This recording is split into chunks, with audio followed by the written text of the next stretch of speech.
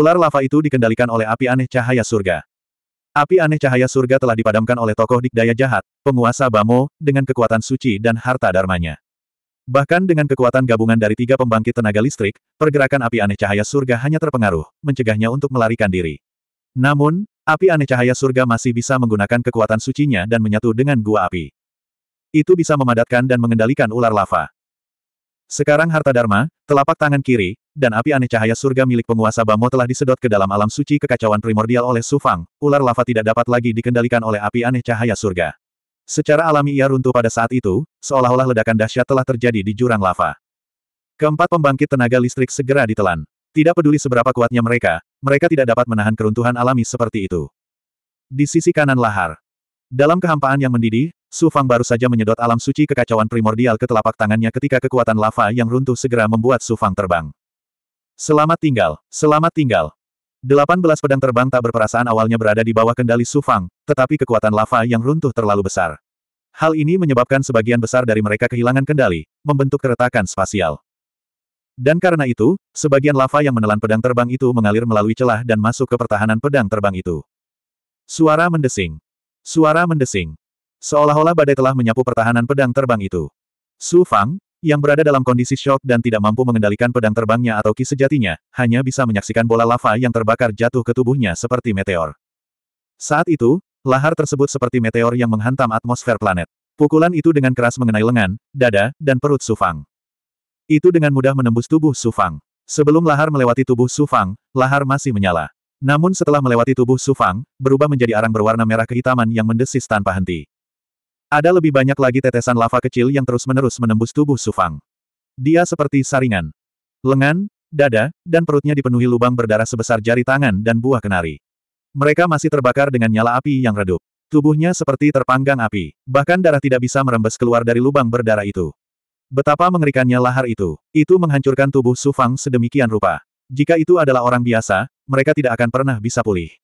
Lava telah menghancurkan meridian dan tulang mereka. Yang lebih mengerikan lagi, di antara perut bagian bawah dan dadanya, terdapat lubang hangus dan berdarah sebesar mangkuk. Usus dan organ dalamnya mungkin hilang. Peng! Suara mendesing. Suara mendesing. Su Fang memandangi pedang terbang tanpa ampun yang tak terkendali di depannya dan lahar yang runtuh.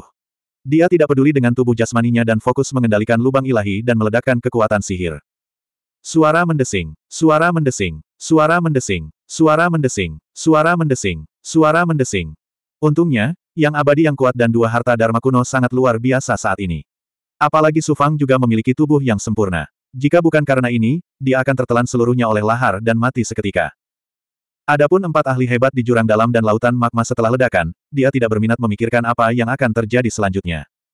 Maksudku adalah kekuatan tubuh fisikku menghilang dengan cepat, aku harus segera mencari tempat. Dia bahkan tidak bisa bertahan selama dua jam, terutama di kedalaman Silent Flame Plains. Belum lagi dua jam, bahkan satu jam pun akan sulit. Terbang keluar dari gua Flame Abyss, mereka memasuki sejumlah besar gua yang berkelok-kelok. Pada saat ini, karena keempat raksasa sedang bertarung di dalam, ular lava tersebut roboh sehingga menyebabkan lava muncrat. Setiap gua dipenuhi dengan lava menakjubkan yang melonjak dan menyembur keluar.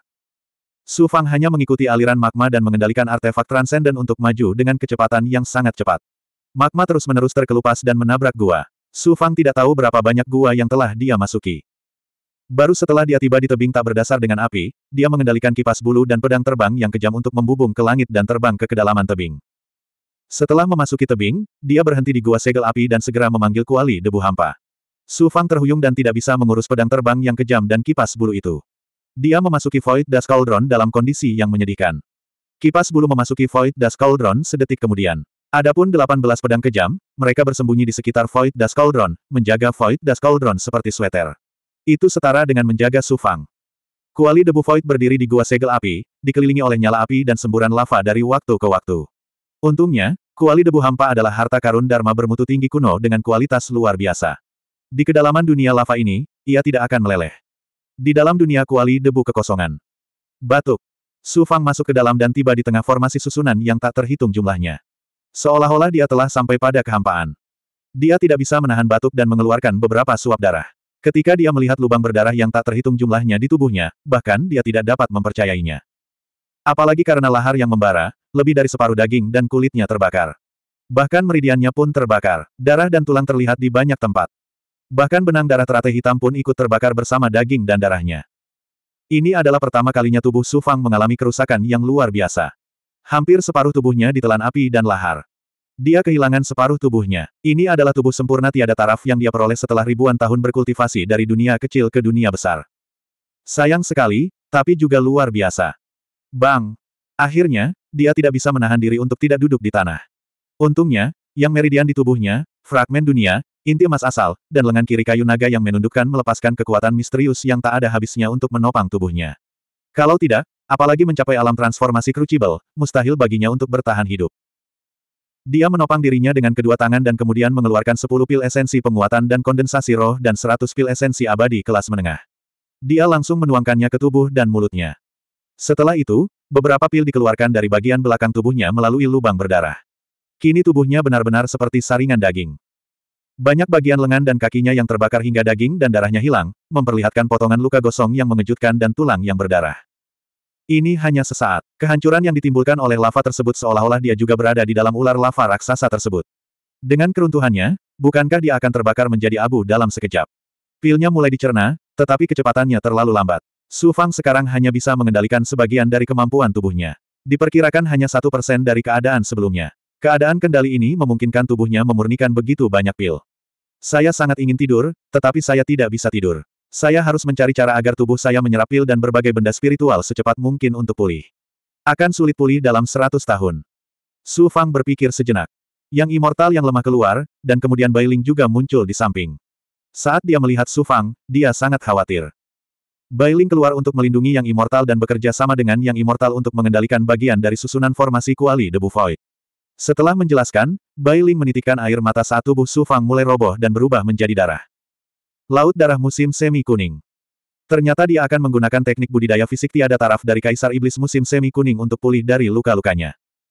Setelah sekian lama, tubuh Su Fang berubah menjadi genangan darah selebar 30 kaki. Apalagi wajah Su Fang tidak terlihat berlumuran darah. Bailing mulai membentuk segel. Segelnya tidak rumit. Kemudian, yang abadi yang ditinggalkan oleh Su Fang meledak dengan kekuatan ilahi, dan kekuatan ilahi formasi susunan melonjak. Suara mendesing. Ratusan pil esensi abadi kelas menengah dan beberapa benda spiritual khusus terbang keluar dari darah.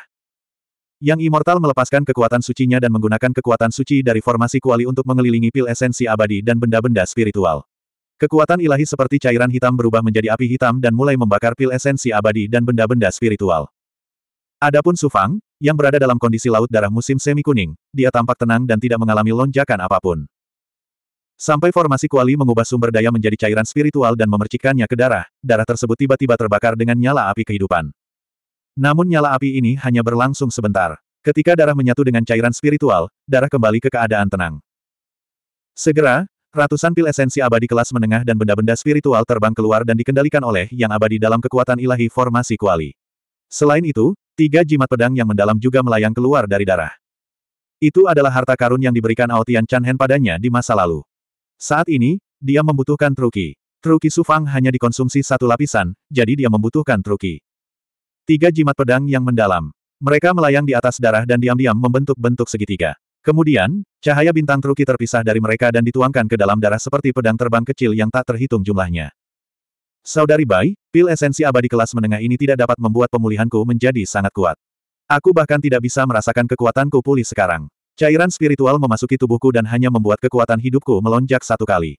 Aku perlu lebih menakjubkan kekuatan. Saya akan mengambil beberapa pil esensi abadi bermutu tinggi untuk membantu saya menyempurnakannya. Jangan khawatir, saudaraku. Kamu akan baik-baik saja. Darah itu berbicara. Setelah Bailing mendengarnya, lusinan pil esensi abadi dengan aura luar biasa, pola abadi, dan kekuatan suci perlahan melayang keluar dari putra darah. Ini semua adalah pil esensi abadi bermutu tinggi. Bahkan para penggarap surga abadi tidak akan meminum pil esensi abadi tingkat tinggi, tetapi pil esensi abadi tingkat menengah.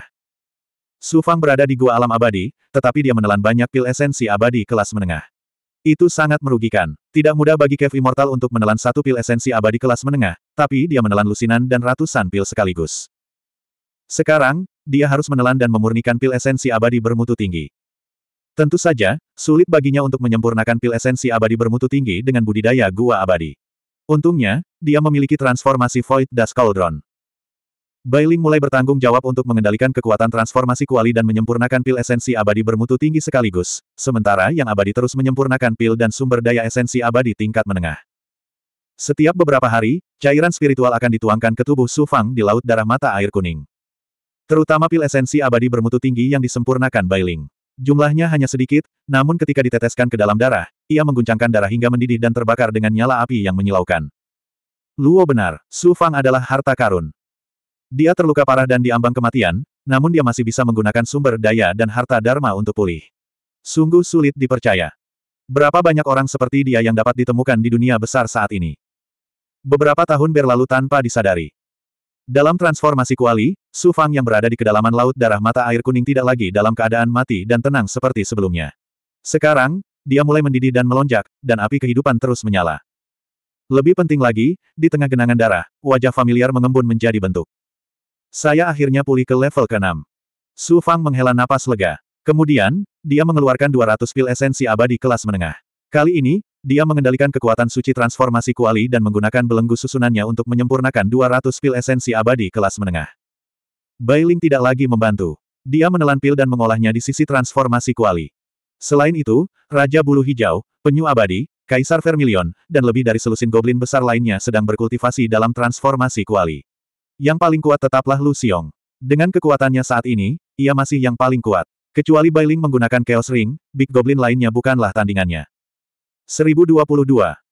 Melihat Big Goblin yang familiar yang terus menjadi lebih kuat dan kemampuan mereka terus berubah, Su Fang tiba-tiba merasa seperti dia telah kembali ke dunia kecil. Hatinya sangat damai. Setelah beberapa saat, Su Fang berkata pada dirinya sendiri, ketika saya bertemu Huoyan Shinrikyo sebelumnya, saya menangkap dan menekan lebih dari selusin pembudidaya iblis. Kebanyakan dari mereka berada di alam surga abadi. Hebat, orang-orang ini jatuh ke tangan saya dan akan menjadi digunakan olehku. Kebetulan ke-14 budak itu bertugas menyempurnakan pil langit abadi Yin Yang, jadi mata-mata pedang kejam akan dikendalikan oleh para penggarap iblis yang kuat ini. Itu masih dalam tahap pemulihan, dan baru pulih ke tingkat ke-6. Wajah Sufang tiba-tiba mengeluarkan kekuatan suci. Dari sisi lain alam transformasi wadah, susunannya mulai berubah, membentuk sebuah lorong. Di bagian itu, sebuah suan guang diluncurkan, dan ada dua belas sosok di dalamnya. Setiap sosok melepaskan ki iblis. Mereka adalah para pembudidaya iblis yang secara tidak sengaja ditekan oleh Su Fang ketika dia digunakan sebagai umpan oleh Huoyan Shinrikyo. Kebanyakan dari mereka adalah ahli di alam surga abadi. Itu adalah dari mana datangnya penggarap iblis ini? Mungkinkah dia adalah ahli dari Gunung Iblis? Dia sama sekali bukan ahli dari Gunung Iblis. Di antara murid-murid yang datang bersama Tuanku Raja kali ini, tidak ada murid dengan budidaya alam abadi gua seperti dia. Ketika dua belas penggarap iblis, yang dibelenggu oleh barisan, sampai ke air berdarah yang telah diubah oleh Su Fang, masing-masing dari mereka menunjukkan ekspresi terkejut. Ada juga gemetar dan ketakutan dalam cahaya itu. Sebagai pembudidaya iblis, mereka semua ketakutan setengah mati ketika melihat bentuk kehidupan berdarah. Kekuatan suci Su Fang tersapu, datang dari alam transformasi wadah. Dia menekan dua belas orang dari mereka untuk berlutut dan berkata dengan keras, aku menyelamatkanmu dari Huoyan Shinrikyo untuk membuatmu bekerja untukku. Huoyan Shinrikyo tidak sopan padamu, tapi aku bisa memberimu jalan keluar. Salah satu kultivator iblis muda tidak bisa bergerak. Kami, kami tidak ingin mati. Kami semua adalah kultivator iblis. Kamu, biarkan kami hidup, dan aku adalah murid gunung iblis. Bukankah ini membuatmu pergi? Su Fang memandang ke arah kultivator dan merasakan aura sovereign Bamo pada dirinya. Sepertinya kamu adalah murid Gunung Iblis Surgawi. Aku pernah melihat penguasa Bamos sebelumnya, dan auranya sama dengan Ki Iblismu. Dianggap sebagai pengikut di depannya, kan? Ya, para murid Gunung Iblis masih berpikir bahwa Su Fang adalah seorang dewa gua dan mereka dapat menggunakan Gunung Iblis untuk menakutinya. Namun pada akhirnya tidak berhasil sama sekali, sehingga mereka langsung kehilangan keberanian. Sebelumnya, ketika aku menindas 14 orang, mereka bekerja sama denganku untuk mengendalikan mata-mata. Sekarang, mereka membantuku memurnikan pil. Kebetulan aku kekurangan orang. Sebagian besar dari kalian berdua adalah dewa surgawi, dan kalian bisa bekerja sama bersamaku untuk mengendalikan mata-mata. Jika kamu tidak bersedia, maka kamu dapat dengan patuh menjadi budakku mulai sekarang. Tetapi jika kamu bersedia, maka kamu dapat terus menerobos dan menikmati segala macam sumber daya. Ya, kita ingin. Pilihan apa yang dimiliki para penggarap demonik Dao? Mengapa mereka tidak menundukkan kepala dan mengaku kalah? Su Fang tersenyum. Sayangnya, Sumber daya masyarakat ini telah dijarah oleh Huoyan Shinrikyo. Dia menggunakan kekuatan yang abadi dan iblis rakus khusus untuk berubah menjadi lapisan benih segel, membelenggu 12 pembudidaya setan Dao. Mulai sekarang, orang-orang ini adalah ahli di tangannya.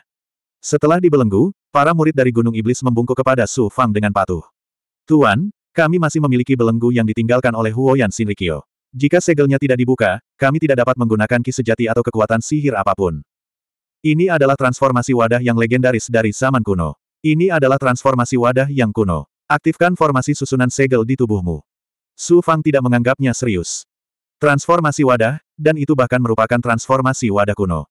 Ketika para penggarap demonik Dao mendengar ini, kepala mereka berdengung. Mereka tidak tahu di mana mereka berada. Transformasi wadah benar-benar merupakan harta dharma yang tiada taraf, belum lagi harta dharma kuno. Kedua belas dari mereka segera mengaktifkan segel dari Huoyan Shinrikyo di tubuh mereka. Mereka tidak menyangka saat mereka mengaktifkannya, nyala api akan menelan kepala dan tubuh mereka, menindas mereka dengan kekuatan suci. Itu mulai melahap yang abadi dan vitalitas fisik mereka. Saat para ahli berjuang, suan guang hitam misterius berubah menjadi kekuatan ilahi dari formasi susunan. Itu adalah satu-satunya kekuatan di dunia ini. Ia segera membungkusnya dan mengebor formasi segel mereka. Kemudian, ia mulai terbakar dengan api hitam. Beberapa hari kemudian, para penggarap demonik Dao mendapatkan kembali kebebasan mereka. Su Fang juga mengeluarkan pil abadi kelas menengah untuk memberi penghargaan kepada para penggarap Dao iblis ini. Setelah mereka pulih sedikit, Su Fang mengeluarkan 12 pedang terbang tanpa hati dan menyatukannya. Hasilnya, orang-orang ini melihat pedang terbang tak berperasaan untuk pertama kalinya. Mereka kaget dan penasaran. Dengan rasa penasaran ini, mereka juga sangat ingin menyatu dengan pedang terbang tak berperasaan.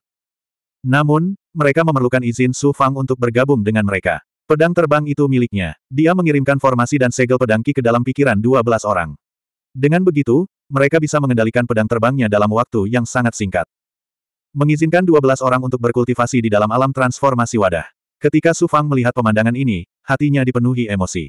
Sekarang, kekuatan tempurku telah mencapai level Cave Immortal. Aku bisa membunuh mereka dalam satu gerakan. Dengan 12 ahli Celestial Immortal dan Ruthless Swordspeed, bahkan seorang kultivator alam Celestial Immortal akan terbunuh oleh Ruthless Swordspeed. Tanpa disadari, Su Fang memulihkan tujuh lapisan. Selama periode ini, dia menelan banyak pil abadi kelas menengah. Dia bahkan menelan pil penguatan roh dan kondensasi esensi. Setelah memulihkan tujuh lapisan, Su Fang mulai mengolah laut darah musim semi kuning.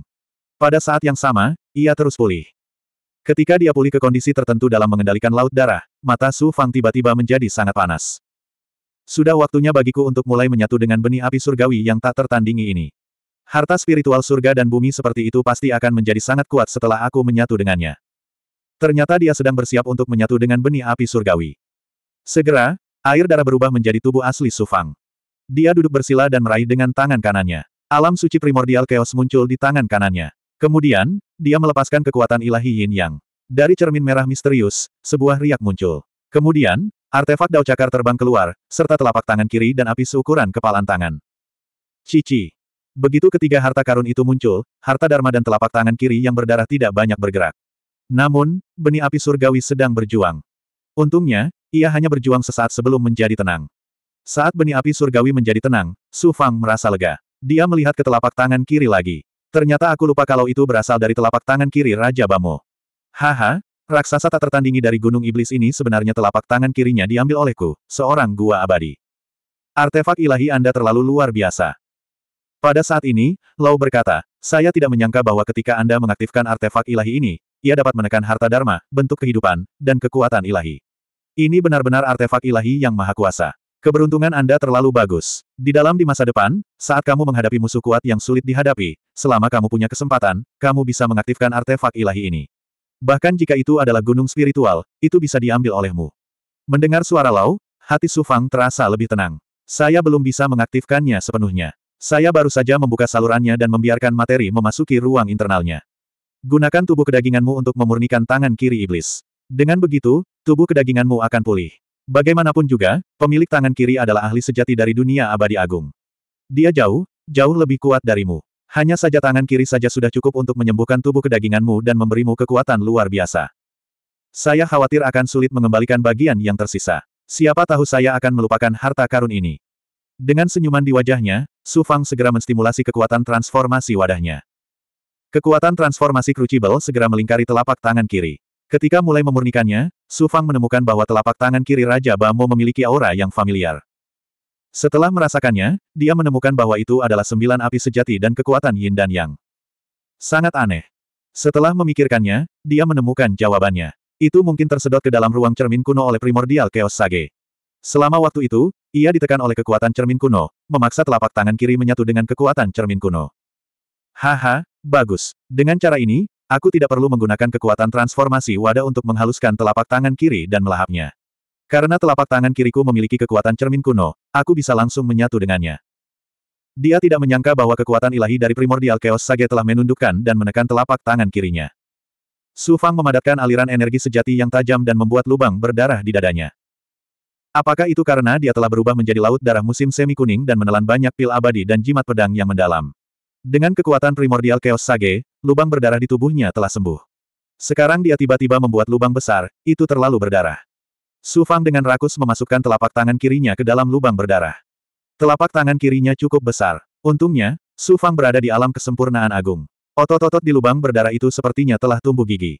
Mereka mulai berderit dan menggeliat, perlahan menelan sisa tangan kirinya hingga lubang berdarah itu menyatu.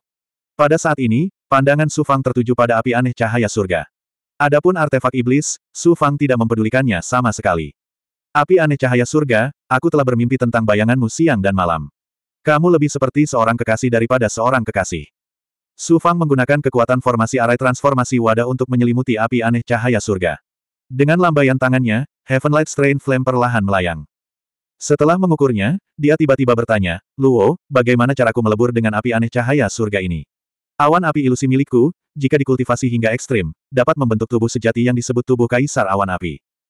Luo Chu berkata dengan suara terkejut, tubuh sejati dengan kemampuan ilahi tipe api sungguh luar biasa. Luar biasa, luar biasa, luar biasa. Anda memiliki tubuh fisik alam kesempurnaan agung, dan Anda memiliki kekuatan yang murni yang dapat memadukan segalanya. Anda bisa langsung melebur dengan api aneh cahaya surga seperti yang Anda lakukan dengan fragmen dunia budidaya. Menyatu dengan api aneh cahaya surga di tempat yang menurut Anda merupakan asal-usulnya, lalu sebarkan dan gabungkan dengan tubuh Anda. Karena api aneh cahaya surga terlalu sombong, Anda punya untuk menyatu dengannya dengan aman. Jika tidak, menyatu dengan tubuhmu secara langsung akan membakarmu sampai mati. Kamu harus memiliki kekuatan untuk menekannya dan membuatnya tunduk. Saya mengerti. Setelah mendengar kata-kata Luo Chu, Su Fang punya ide di dalam hatinya. Namun, pertama-tama aku akan menyatu dengan telapak tangan kiri Raja Iblis Ba dan membiarkan tubuhku pulih ke puncaknya. Lalu aku akan menyatu dengan api aneh cahaya surga. Pada saat ini, dia membelenggu api aneh cahaya surga ke satu sisi. Ketika Su Fang merasakan dadanya, energi iblis murni telah menyebar dari jantung ke seluruh tubuhnya. Itu bukan hanya energi iblis, tapi juga energi kehidupan yang menakutkan. Terlebih lagi, hal itu jelas menyebabkan benang darah teratai hitam tumbuh dengan cepat di tubuhnya. Su Fang bahkan tidak perlu menggunakan tubuh sejati teratai hitamnya, tetapi benang darah hitam itu tumbuh dengan sendirinya. Ini adalah efek dari tubuh kuat Badimen Monarch. Kekuatan Badimen Monarch seperti primer yang menyebabkan berbagai kemampuan Su Fangda meningkat dan bertransformasi. Dagingnya yang terbakar lava sepertinya sudah pulih, namun beberapa meridian dan benang darah hitamnya masih belum pulih. Tapi sekarang berbeda. Setelah menyatu dengan kekuatan Badimen Monarch, tubuhnya mulai pulih. Ditambah fakta bahwa dia telah melahap beberapa pil obat, ki sejati Su Fang telah pulih. Dagingnya juga mulai pulih. Dia telah mencapai puncak alam abadi Gua Empat Dao. 1023. Meski pemulihannya luar biasa, kekuatan telapak tangan kiri Sovereign Bamo masih belum sepenuhnya terintegrasi dengan Su Fang. Ini menyebabkan pertumbuhan pembuluh darah yang gila-gilaan di tubuhnya dan pertumbuhan meridiannya. Su Fang merasa hatinya seperti nyala api kehidupan, terus menyala. Ini adalah keadaan luar biasa yang dihasilkan oleh kekuatan darah dan daging penguasa Bamo. Itu seperti api yang berkobar, membakar hatinya dan kemudian menyebarkan kekuatannya ke seluruh tubuhnya. Melalui siklus surgawi kecil dan siklus surgawi besar, tubuh Su Fang terus bertambah kuat. Pada saat ini, dia menelan pil abadi kelas menengah lagi dan lagi. Adapun pil abadi tingkat rendah, tidak banyak berpengaruh padanya kecuali dia menelan ribuan pil sekaligus. Di sisi lain dari ruang transformasi Crucible. Dua belas penggarap jalur iblis menggabungkan dua belas pedang terbang yang kejam. Mereka semua berada di alam abadi surgawi. Dengan segel pedang Su Fang, menggabungkan pedang terbang kejam tidaklah sulit. Bailing, penyu abadi, Raja Bulu Hijau, Kaisar Vermilion, dan goblin besar lainnya juga semakin kuat selangkah demi selangkah. Lukaku sudah sembuh total. Aku tidak bisa menyerap banyak kekuatan alam di kedalaman Silent Flame Plains. Aku harus meninggalkan tempat ini. Terlebih lagi, tempat ini juga sangat berbahaya. Aku perkirakan ada banyak pembangkit tenaga listrik yang mencarinya. Api aneh cahaya surgawi di kedalaman. Dia tiba-tiba melompat dan meninggalkan Crucible Transformation Space dalam sekejap. Tubuhnya tiba-tiba muncul di gua yang terbakar. Delapan belas pedang terbang yang kejam membentuk pertahanan dan kipas bulu muncul di bawah kakinya. Dia segera terbang keluar dari gua yang dalam. Saat dia memasuki gua yang dalam dengan magma yang menyembur keluar, dia khawatir akan bertemu dengan ahli yang tiada taranya. Untungnya, dia tidak menemui masalah apa pun sampai dia mencapai gua pusat. Ketika dia tiba di sini, dia merasakan aura banyak kultivator di kedalaman gua. Tampaknya kebanyakan orang tidak tahu bahwa dia telah memperoleh api aneh cahaya surgawi. Setelah sampai di sini, Su Fang tidak lagi takut dengan magma. Dia menyingkirkan pedang terbang kejam dan kipas bulunya dan dengan cepat terbang keluar dari gua pusat. Kembali ke salah satu gua, dia melihat banyak petani duduk bersila dan beristirahat. Untungnya, tidak ada kekuatan sekuat Huoyan Shinrikyo dan Gunung Iblis. Setelah pergi dengan selamat, Su Fang terbang keluar dari air terjun magma dan berubah menjadi kultivator jalur setan di bawah pengawasan sejumlah besar kultivator yang menunggu. Setelah terbang keluar dari Silent Flame Plains, beruntung mereka menemukan hutan tanpa akhir tepat waktu. Di dalam hutan, Su Fang memanggil Lu Xiong dan bersembunyi di hutan. Kemudian, dia memanggil lebih dari 20 ribu komandan junior dan iblis abadi dari Pagoda 6 Jalan Suan Huang untuk bercocok tanam di hutan besar ini. Su Fang juga mengeluarkan sejumlah besar pelet langit abadi yin yang dan pelet esensi abadi tingkat rendah untuk dikonsumsi semua orang. Dia bahkan meminta 12 ahli untuk membantunya memasang penghalang untuk membentuk formasi penginderaan biasa di hutan tempat semua orang berada. Tidak ada yang mengira akan ada begitu banyak dewa iblis yang berhibernasi di kedalaman hutan. Meski mereka tidak kuat, jumlah mereka terlalu mengejutkan. Setelah melakukan semua persiapan, Su Fang tidak lagi terburu-buru. Tujuannya datang ke dunia astral Huang Ze adalah untuk mendapatkan api mistik surgawi. Sekarang setelah dia memilikinya, dia hanya perlu meluangkan waktu untuk menyatu dengannya. Langkah selanjutnya adalah menyatu dengan Heaven Light Abnormal Flame. Namun, Su Fang menemukan bahwa bagian terakhir energi daging dan darah Sovereign Bamo hampir mencapai puncak alam wawasan empat dao.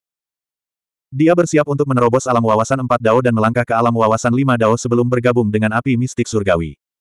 Api mistik surgawi sungguh luar biasa. Bahkan bisa membunuh orang seperti orang tua. Seberapa mengerikankah kekuatannya? Tanpa kekuatan yang kuat dan tubuh fisik yang kuat, bagaimana seseorang dapat menahan kekuatannya? Dia sangat ingin menyatu dengan api mistik surgawi dan mengolah awan api ilusi untuk mendapatkan tubuh kaisar awan api. Dia mengeluarkan sejumlah besar batu abadi untuk membuat altar. Kemudian, dia mengaktifkan penjelasan sejati misti, sembilan transformasi sembilan matahari, fragmen dunia, dan tujuh belas yang meridian untuk secara gila-gilaan menyerap energi spiritual langit dan bumi. Meskipun energi spiritual di gurun sangat sedikit, dengan kigong unik Su Fang, dia masih bisa menyerap kekuatan dunia. Suara mendesing. Tidak lama kemudian, Su Fang, yang sedang mengisi daya dengan seluruh kekuatannya, tiba-tiba meledak dengan nyala api yang mengejutkan. Itu adalah api kesengsaraan yang telah lama dia tunggu-tunggu. Dia menyerap sejumlah besar energi spiritual dari altar ke dalam tubuhnya dan mengendalikan seluruh kekuatannya untuk menyerang tubuh fisiknya. Setelah beberapa sirkulasi, api kesengsaraan menyelimuti dirinya dan membakar dengan ganas. Dia berubah menjadi manusia api sekali lagi. Api kesengsaraan menutupi seratus kaki di sekelilingnya. Kotoran di plasenta terus mengalir keluar selama ini, dan segala macam suara benturan terdengar di tubuhnya. Setelah bertahan lama, api kesengsaraan perlahan menghilang. Su Fang mengendalikan kekuatan promosi untuk menyerang tubuh fisiknya lagi. Dia melihat ke dalam tubuhnya dan melihat bahwa gua surgawi di asal inti emasnya telah berubah menjadi pasta lagi. Tanda dao kelima mulai muncul di sekitar asal inti emasnya. Tanda dao kelima juga muncul di selaput daging, pesona, dan bukaan ilahi. Alam lima dao gua abadi. Gua surgawi dengan cepat berubah dari keadaan pasta menjadi gua surgawi di asal inti emasnya. Itu adalah lubang dalam berwarna bintang. Gua surgawi adalah eksistensi bagi para kultivator. Bagaimanapun, ini adalah alam pertama bagi makhluk abadi yang menyerap kekuatan dunia. Ini sangat penting. Jika Su Fang memiliki inti emas, dia juga akan memperhatikan budidaya gua surgawi. Tapi sekarang, dia memiliki fragmen dunia. Dia tidak peduli dengan hal ini. Ketika kekuatan promosi berangsur-angsur hilang, meridian, daging, dan darahnya semuanya berubah. Hal yang sama berlaku untuk celah ilahi miliknya. Ada juga benang darah teratai hitam di sekujur tubuhnya. Akhirnya, setelah menerobos alam abadi Gua Lima Dao, dia tidak hanya menyatu sempurna dengan telapak tangan kiri penguasa Bamo, tetapi tubuh fisiknya juga benar-benar pulih dan berubah. Saat dia membuka matanya, transformasi kemampuan kesempurnaan hebat dilepaskan dengan sempurna. Dia bisa melihat semuanya dalam jarak 5 km dari gurun ini dengan jelas. Itu luar biasa. Ini adalah gurun.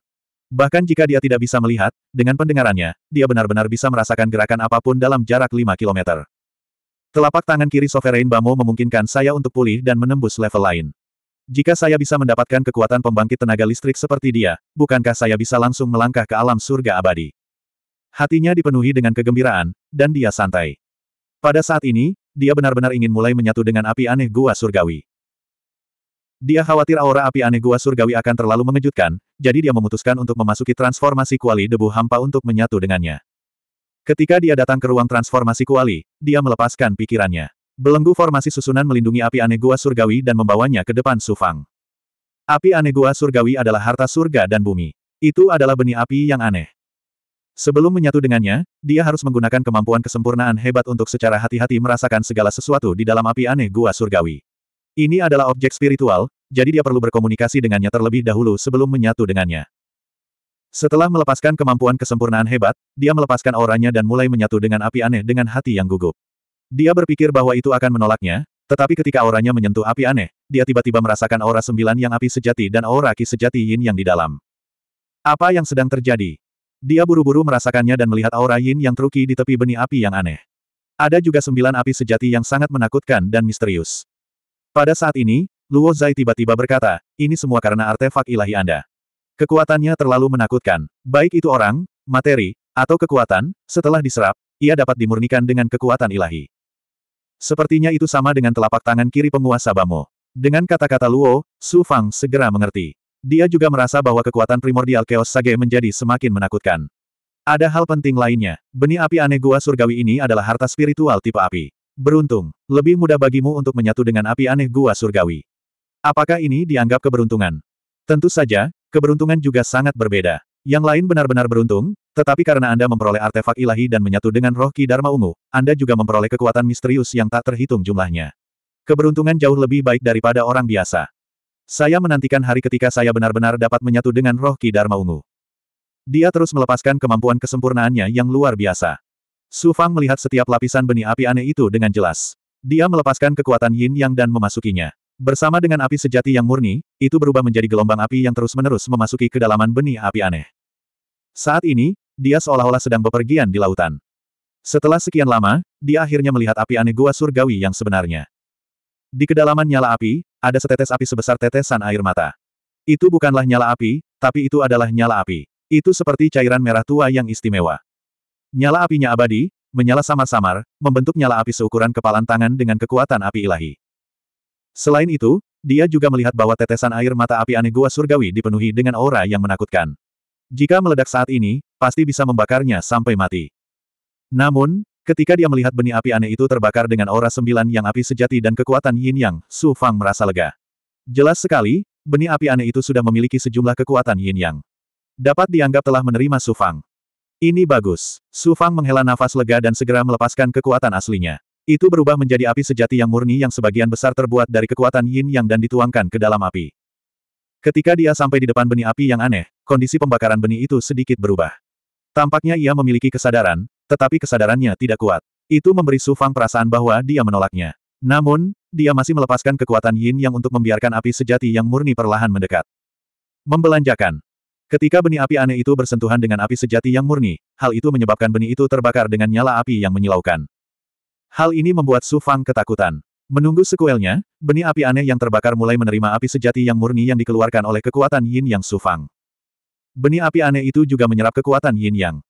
Kekuatan Yin yang memang merupakan kekuatan paling misterius di dunia. Pada saat inilah Su Fang merasakan kekuatan asal yang familiar dari benih api yang aneh. Kekuatan asal. Dia ingat ketika dia berada di alam labu surgawi, dia mencuri labu roh dan secara tidak sengaja memperoleh kekuatan asal dunia. Ternyata benih api aneh tersebut juga memiliki kekuatan asal yang mengejutkan dan menakutkan.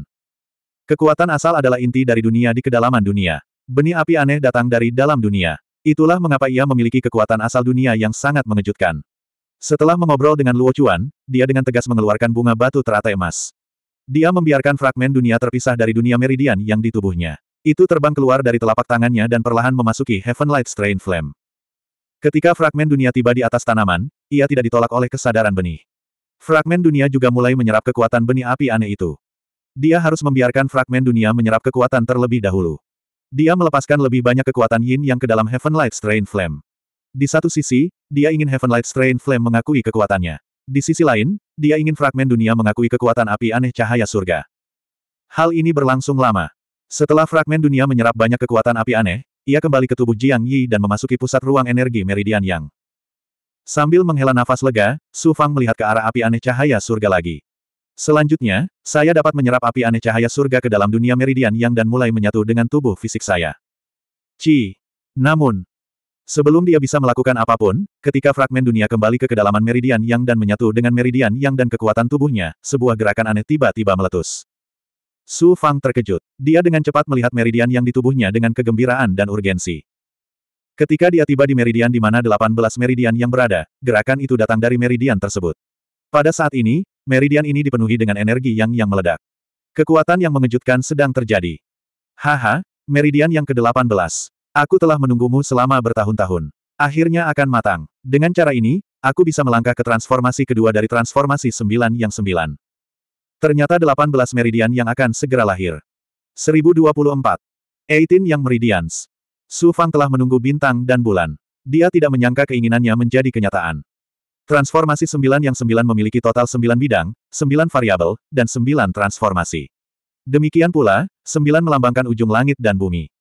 Setelah 18 meridian yang terbentuk, Su Fang akan mampu melangkah ke transformasi kedua dari transformasi sembilan yang sembilan. Tidak mungkin untuk diprediksi. Meridian yang ini akan berhasil terbentuk, tetapi masih perlu waktu untuk menerobos. Semua perhatiannya terfokus pada meridian yang ke-18. Itu telah menyatu dengan meridiannya dan hampir berubah menjadi seperti batu giok.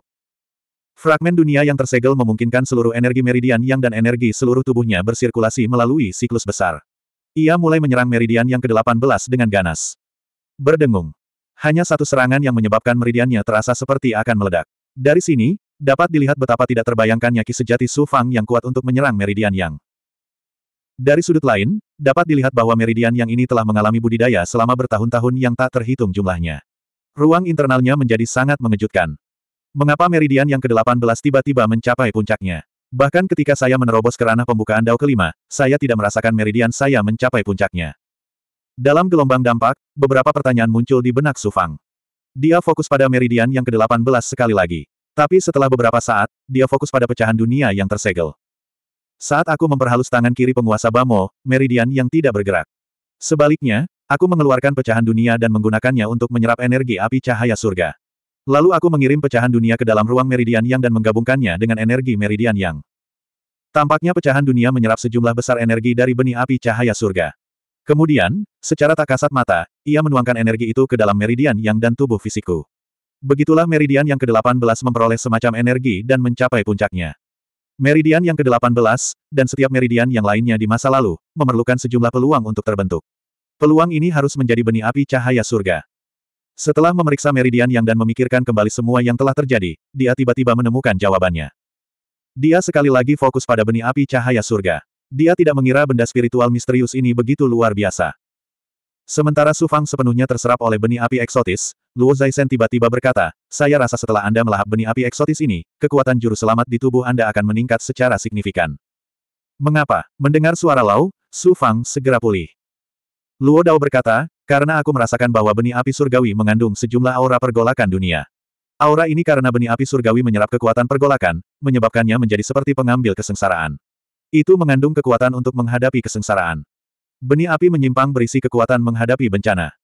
Hati Sufang bergetar. Dia sedikit takut. Pengambil kesusahan sangat kuat. Aku punya dua orang teman di dunia kecil yang sama-sama pengambil kesengsaraan.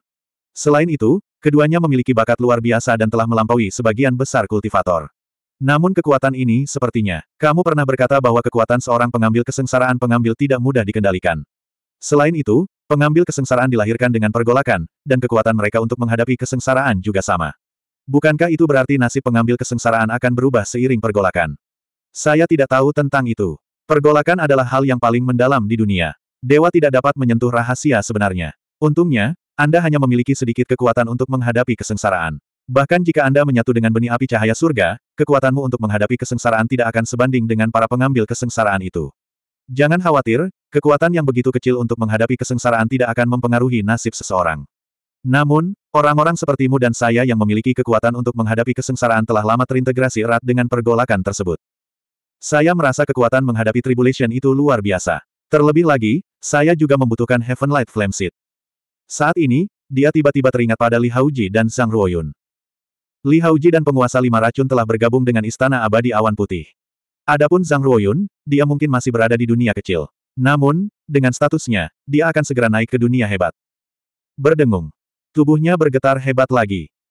Ketika dia sadar kembali, ternyata yang meridian ke-18 di tubuhnya akhirnya terbentuk setelah gelombang keruki yang tak terhitung jumlahnya ke seluruh tubuhnya. Itu terbakar dengan api yang murni. Itu bukan lagi meridian biasa. Sebaliknya, itu adalah meridian seperti batu giok yang dipenuhi yang ki yang melimpah. Yang meridian ke-18 akhirnya terbentuk. Saya akan melangkah ke transformasi kedua. Tubuh dan pikirannya terfokus pada yang meridian ke-18. Kemudian, dia melepaskan semua yang truki murni dari 17 yang meridian dan 9 yin froski yang telah dia serap dari alam suci asal ke dalam yang meridian ke-18. Rasanya seperti sungai besar yang mengalir ke lautan. Langit dan bumi bergemuruh dengan kekuatan ilahi. Tubuh Sufang dipenuhi dengan momentum yang melonjak. Setelah beberapa saat, sepertinya yang meridian ke-18 yang baru saja terbentuk memiliki yang ki yang menakjubkan. Kemudian, tiba-tiba terbakar dengan api bersama dengan yang meridian ke-10 hingga ke-17. Kemudian, sembilan yang meridian benar-benar mengubah posisi mereka. Setelah bergerak secara bertahap, mereka membentuk keadaan melingkar yang tidak beraturan. Kemudian, mereka menghubungkan ekor ke ekor dan semua yang ki menyatu menjadi satu. Ini adalah perpaduan ki di meridian setelah mengolah transformasi sembilan yang sembilan ke transformasi kedua. Itu mirip dengan sirkulasi ki di meridian. Sembilan yang meridian dari transformasi pertama juga berubah menjadi keadaan ini. Sekarang, sembilan yang meridian dari transformasi kedua juga sama. Sepertinya saya memiliki dua yang meridian yang membentuk ruang yang ki. Su Fang melihat kedalaman meridiannya. Dia tidak bisa menyembunyikan kegembiraan di hatinya ketika dia melihat dua yang meridian membentuk ruang yang ki di kiri dan kanan. Tepat ketika dia berpikir bahwa transformasi kedua berada dalam keadaan seperti itu, dia tidak mengharapkan yang meridian dari transformasi kedua yang baru terbentuk untuk mulai bergerak lagi. Mereka seperti kunang-kunang panjang yang bergerak keluar dari sembilan pembuluh darah yang pada transformasi pertama. Kemudian, transformasi berlanjut. Pembuluh darah yang dari transformasi kedua perlahan menyebar, ekornya terhubung ke sembilan pembuluh darah yang dari transformasi pertama, dan perlahan meluas keluar. Secara bertahap, mereka mengepung sembilan yang meridian dari transformasi pertama. Dua ruang yang ki di kiri dan kanan sebenarnya membentuk ruang yang ki dalam dan luar. Transformasi telah berakhir. Setidaknya, Su Fang berpikir begitu. Siapa yang tahu bahwa ekor yang meridian transformasi pertama tiba-tiba menyebar dan membungkus bagian luar yang meridian. Ekor yang meridian transformasi kedua juga bergerak dan akhirnya membentuk ular panjang yang meridian. Su Fang tidak dapat menjelaskan atau mengganggu hal itu. Ketika 18 yang meridian benar-benar tenang, dia melihat 18 yang meridian telah membentuk spiral yang meridian. Mereka membentuk dua lingkaran, dengan yang meridian pertama di tengah lingkaran dalam dan yang meridian ke-18 di ujung lingkaran luar. Tampaknya 18 yang meridian telah menyatu untuk membentuk diagram spiral yang ki yang sangat mirip dengan pusaran yang meridian. Ini dihentikan. Su Fang mengusap matanya. Dia melihat 18 yang meridian yang terhubung satu sama lain dan membentuk pusaran spiral yang tidak dikenalnya. Dia sangat terkejut. Saya tidak pernah menyangka bahwa setelah transformasi kedua, semua yang meridian akan terhubung bersama untuk membentuk diagram yang aneh. Yang meridian telah tenang, tetapi ketika yang ki dari 18 spiral yang meridian mulai menyatu dengan ki sejati yang beredar, aura ganas meledak. Su Fang merasa tubuhnya tiba-tiba menjadi seperti sungai yang mengamuk. Darah dan ki aslinya mengalir sepuluh kali lebih cepat daripada sebelum dia mencapai transformasi kedua. Ki dan energi sejatinya melonjak melalui 18 spiral yang meridian, melonjak dan beredar dari dasar kaki hingga ke atas kepalanya, dari siklus kecil ke siklus besar. Selanjutnya, fragmen dunia berinisiatif untuk datang ke pusat lingkaran dalam 18 meridian. Itu melayang di tengah dunia energi yang dan terus menyerap yang ki yang dilepaskan oleh 18 yang meridian, mengubahnya menjadi kekuatan dunia yin yang. Saat itu, Su Fang melihat arah peredaran energi di tubuhnya. Setelah ki sejati di tubuhnya melewati meridian yang tak terhitung jumlahnya dan benang darah teratai hitam untuk menyelesaikan siklus kecil, ia melewati siklus besar dan akhirnya diserap oleh yang meridian ke-18 di lingkaran luar yang meridian yang berputar. Ia memasuki yang meridian ke-17 dan akhirnya memasuki yang meridian pertama di lingkaran dalam. Setelah itu, semua energi diserap oleh fragmen dunia dari yang meridian pertama. Akhirnya, setelah menyatu dengan fragmen dunia, kekuatan mengejutkan dari dunia yin yang melonjak dan dilepaskan. Itu diserap oleh 18 yang meridian yang berputar, menyebabkan 18 yang meridian memancarkan cahaya bintang yang menyilaukan. Rasanya seperti ada 18 galaksi dalam satu galaksi. Perubahan. Perubahan besar. Setelah transformasi 9 yang 9 mencapai transformasi kedua, keberuntungannya secara keseluruhan, jalur sirkulasi energi, dan metodenya telah berubah. Ternyata mencapai transformasi kedua memiliki perubahan yang begitu mengejutkan. Saat itu, dia tidak memikirkan hal lain. Dia bahkan menyatu dengan api anomali cahaya surga. Sebaliknya, dia segera melepaskan yang immortal dan memasuki alam suci kekacauan primordial. Ketika dia tiba di ruang artefak ilahi berwarna merah tua yang misterius, Su Fang melihat pemandangan yang familiar. Sekarang, dia akhirnya hampir tidak bisa bergerak. Setelah melepaskan keinginannya dan energi yang, Su Fang perlahan menunggu. Tidak lama kemudian, energi dingin sembilan yin yang familiar menyapu dari kedalaman kehampaan. Tampaknya tersedot ke dalam alam suci kekacauan primordial begitu saja. Kemudian, suara wanita misterius yang familiar itu terdengar. Sembilan yang intiki yang kamu keluarkan begitu murni. Ini mengandung banyak kekuatan ilahi yang bersirkulasi. Selamat atas pengembangan 18 yang meridian dan melangkah ke transformasi kedua. Senior, setelah saya melangkah ke transformasi kedua, yang meridian berubah menjadi keadaan spiral. Tidak banyak waktu berlalu. Mengetahui bahwa wanita misterius itu datang dan pergi dengan tergesa-gesa, Su Fang menyuarakan banyak keraguannya. Terutama perubahan bentuk 18 yang meridian. Setelah beberapa saat, wanita misterius itu berkata, saya mengerti. Saya juga tahu seperti apa transformasi kedua itu. 18 yang meridian Anda kini telah berubah menjadi dua pusaran spiral. Selanjutnya, yang meridian pertama di tengah terhubung ke sebuah fragmen dunia. Faktanya, ini adalah sejenis dao besar. Ini juga merupakan dao surgawi tertinggi yang paling misterius di antara dao besar yang tak terhitung jumlahnya. Su Fang menajamkan telinganya, tidak berani melewatkan satu kata pun. Dao surgawi tertinggi. Dao surgawi adalah alam semesta. Ini mewakili penciptaan bintang-bintang dan kehidupan. Hari-hari paling awal juga merupakan penciptaan alam semesta. Rumor mengatakan bahwa semakin kuno zamannya, semakin kuno dunia ini. Tidak ada apa-apa. Kemudian, sedikit cahaya perlahan-lahan keluar dari kegelapan kehampaan. Baru pada saat itulah dunia secara bertahap memperoleh warna, materi, dan kehidupan. Pada saat ini, pola yang dibentuk oleh yang meridian di tubuhmu dan pecahan dunia adalah apa yang dianggap banyak orang sebagai fenomena Dao Surgawi. Beberapa orang juga mengatakan bahwa itu adalah fenomena kehidupan. Bukankah begitu? Keadaan pusaran spiral dari 18 yang meridian sangat mirip dengan lingkaran pertumbuhan pohon dan pusar tubuh manusia. Itu, sangat mirip dengan cincin pertumbuhan dan pusar. Jika dia tidak melihatnya, dia tidak akan mengetahuinya. Sekarang setelah wanita misterius itu mengatakannya, Su Fang juga merasa itu mirip dengan lingkaran pertumbuhan pohon dan pusar tubuh manusia. Cincin pertumbuhan melambangkan umur pohon dan umurnya. Itu adalah tanda Dao Surgawi. Pusar tubuh manusia juga disebut sebagai sumber kehidupan sejak zaman dahulu. Menyerap nutrisi dari tubuh ibu. Ini juga melambangkan kehidupan. Dalam teks kuno, itu juga disebut mata siantian. Tanda dao surgawi, mata siantian. 1025. Mata surgawi. Eksistensi macam apa ini? Su Fang adalah seorang abadi yang berkultivasi di konstelasi sembilan surga, tetapi dia tidak mengetahui tentang hal-hal ini. Wanita misterius itu perlahan berkata, umur. Segala sesuatu mempunyai umur. Ini adalah jenis takdir. Dunia fana mengatakan bahwa laut berubah menjadi ladang murbei. Ini berarti bahwa materi pun tidak abadi. Adapun kehidupan, bahkan lebih dari itu rapuh. Jika bukan karena penciptaan dan koreksi nenek moyang umat manusia, umat manusia akan tetap berada di urutan terbawah rantai makanan. Ini juga berarti bahwa segala sesuatu memiliki takdir. Materi akan hilang, kehidupan akan tumbuh. Tidak ada yang abadi. Jalur kultivasi kita juga memiliki umur. Umur seperti ini bisa dikatakan takdir. Nasib seseorang adalah penguasa segalanya. Ketika semua ini dikumpulkan, ketika orang-orang mengejar kebenaran dalam kultivasi dan mengejar dao besar yang tak ada habisnya, dao besar juga memiliki kehidupan. Kamu harus lebih memahaminya. Semuanya bereinkarnasi. Segala sesuatu memiliki nasibnya sendiri. Baik itu materi, kehidupan, atau metode kultivasi yang kita kembangkan, dao besar tanpa akhir yang kita kejar, semuanya memiliki nasibnya sendiri. Mereka semua memiliki nasibnya sendiri tentu saja, ini adalah siklus tanpa akhir. Tentu saja, ini juga sangat kejam. Meskipun junior ini tidak begitu mengerti, saya telah mendengar beberapa hal.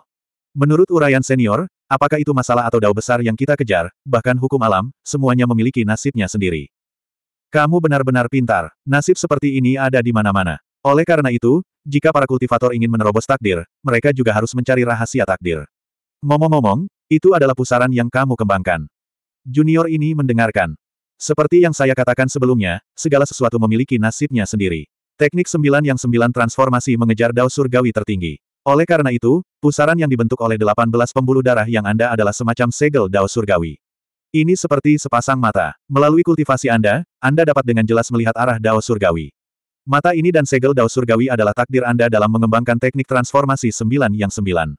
Awalnya, segel dao surgawi ini disebut roda dao surgawi, tetapi di teknik transformasi sembilan yang sembilan, itu disebut roda yang dao murni. Roda dao surgawi. Jadi 18 meridian yang milikku membentuk roda yang dao murni. Lalu apakah itu berarti transformasi sembilan yin sembilan senior juga memiliki roda yang dao murni? Otakmu sangat fleksibel. Lumayan, kamu mengolah sembilan yang sembilan transformasi dan kamu memiliki roda yang dao murni. Saya mengolah transformasi sembilan yin sembilan dan saya memiliki roda yang dao murni. Begitu kita bertemu dan mengolah sembilan yang sembilan transformasi dan sembilan yin sembilan transformasi, maka roda yang dao murni dan roda yang dao murni kita dapat menjadi transformasi sembilan yang sembilan dan roda yin yang dao yang sesungguhnya. Roda yin yang dao. Tiba-tiba, setelah bersentuhan dengan begitu banyak rahasia, yang abadi dari Su Fang seperti sepotong kayu, tidak dapat bergerak sama sekali.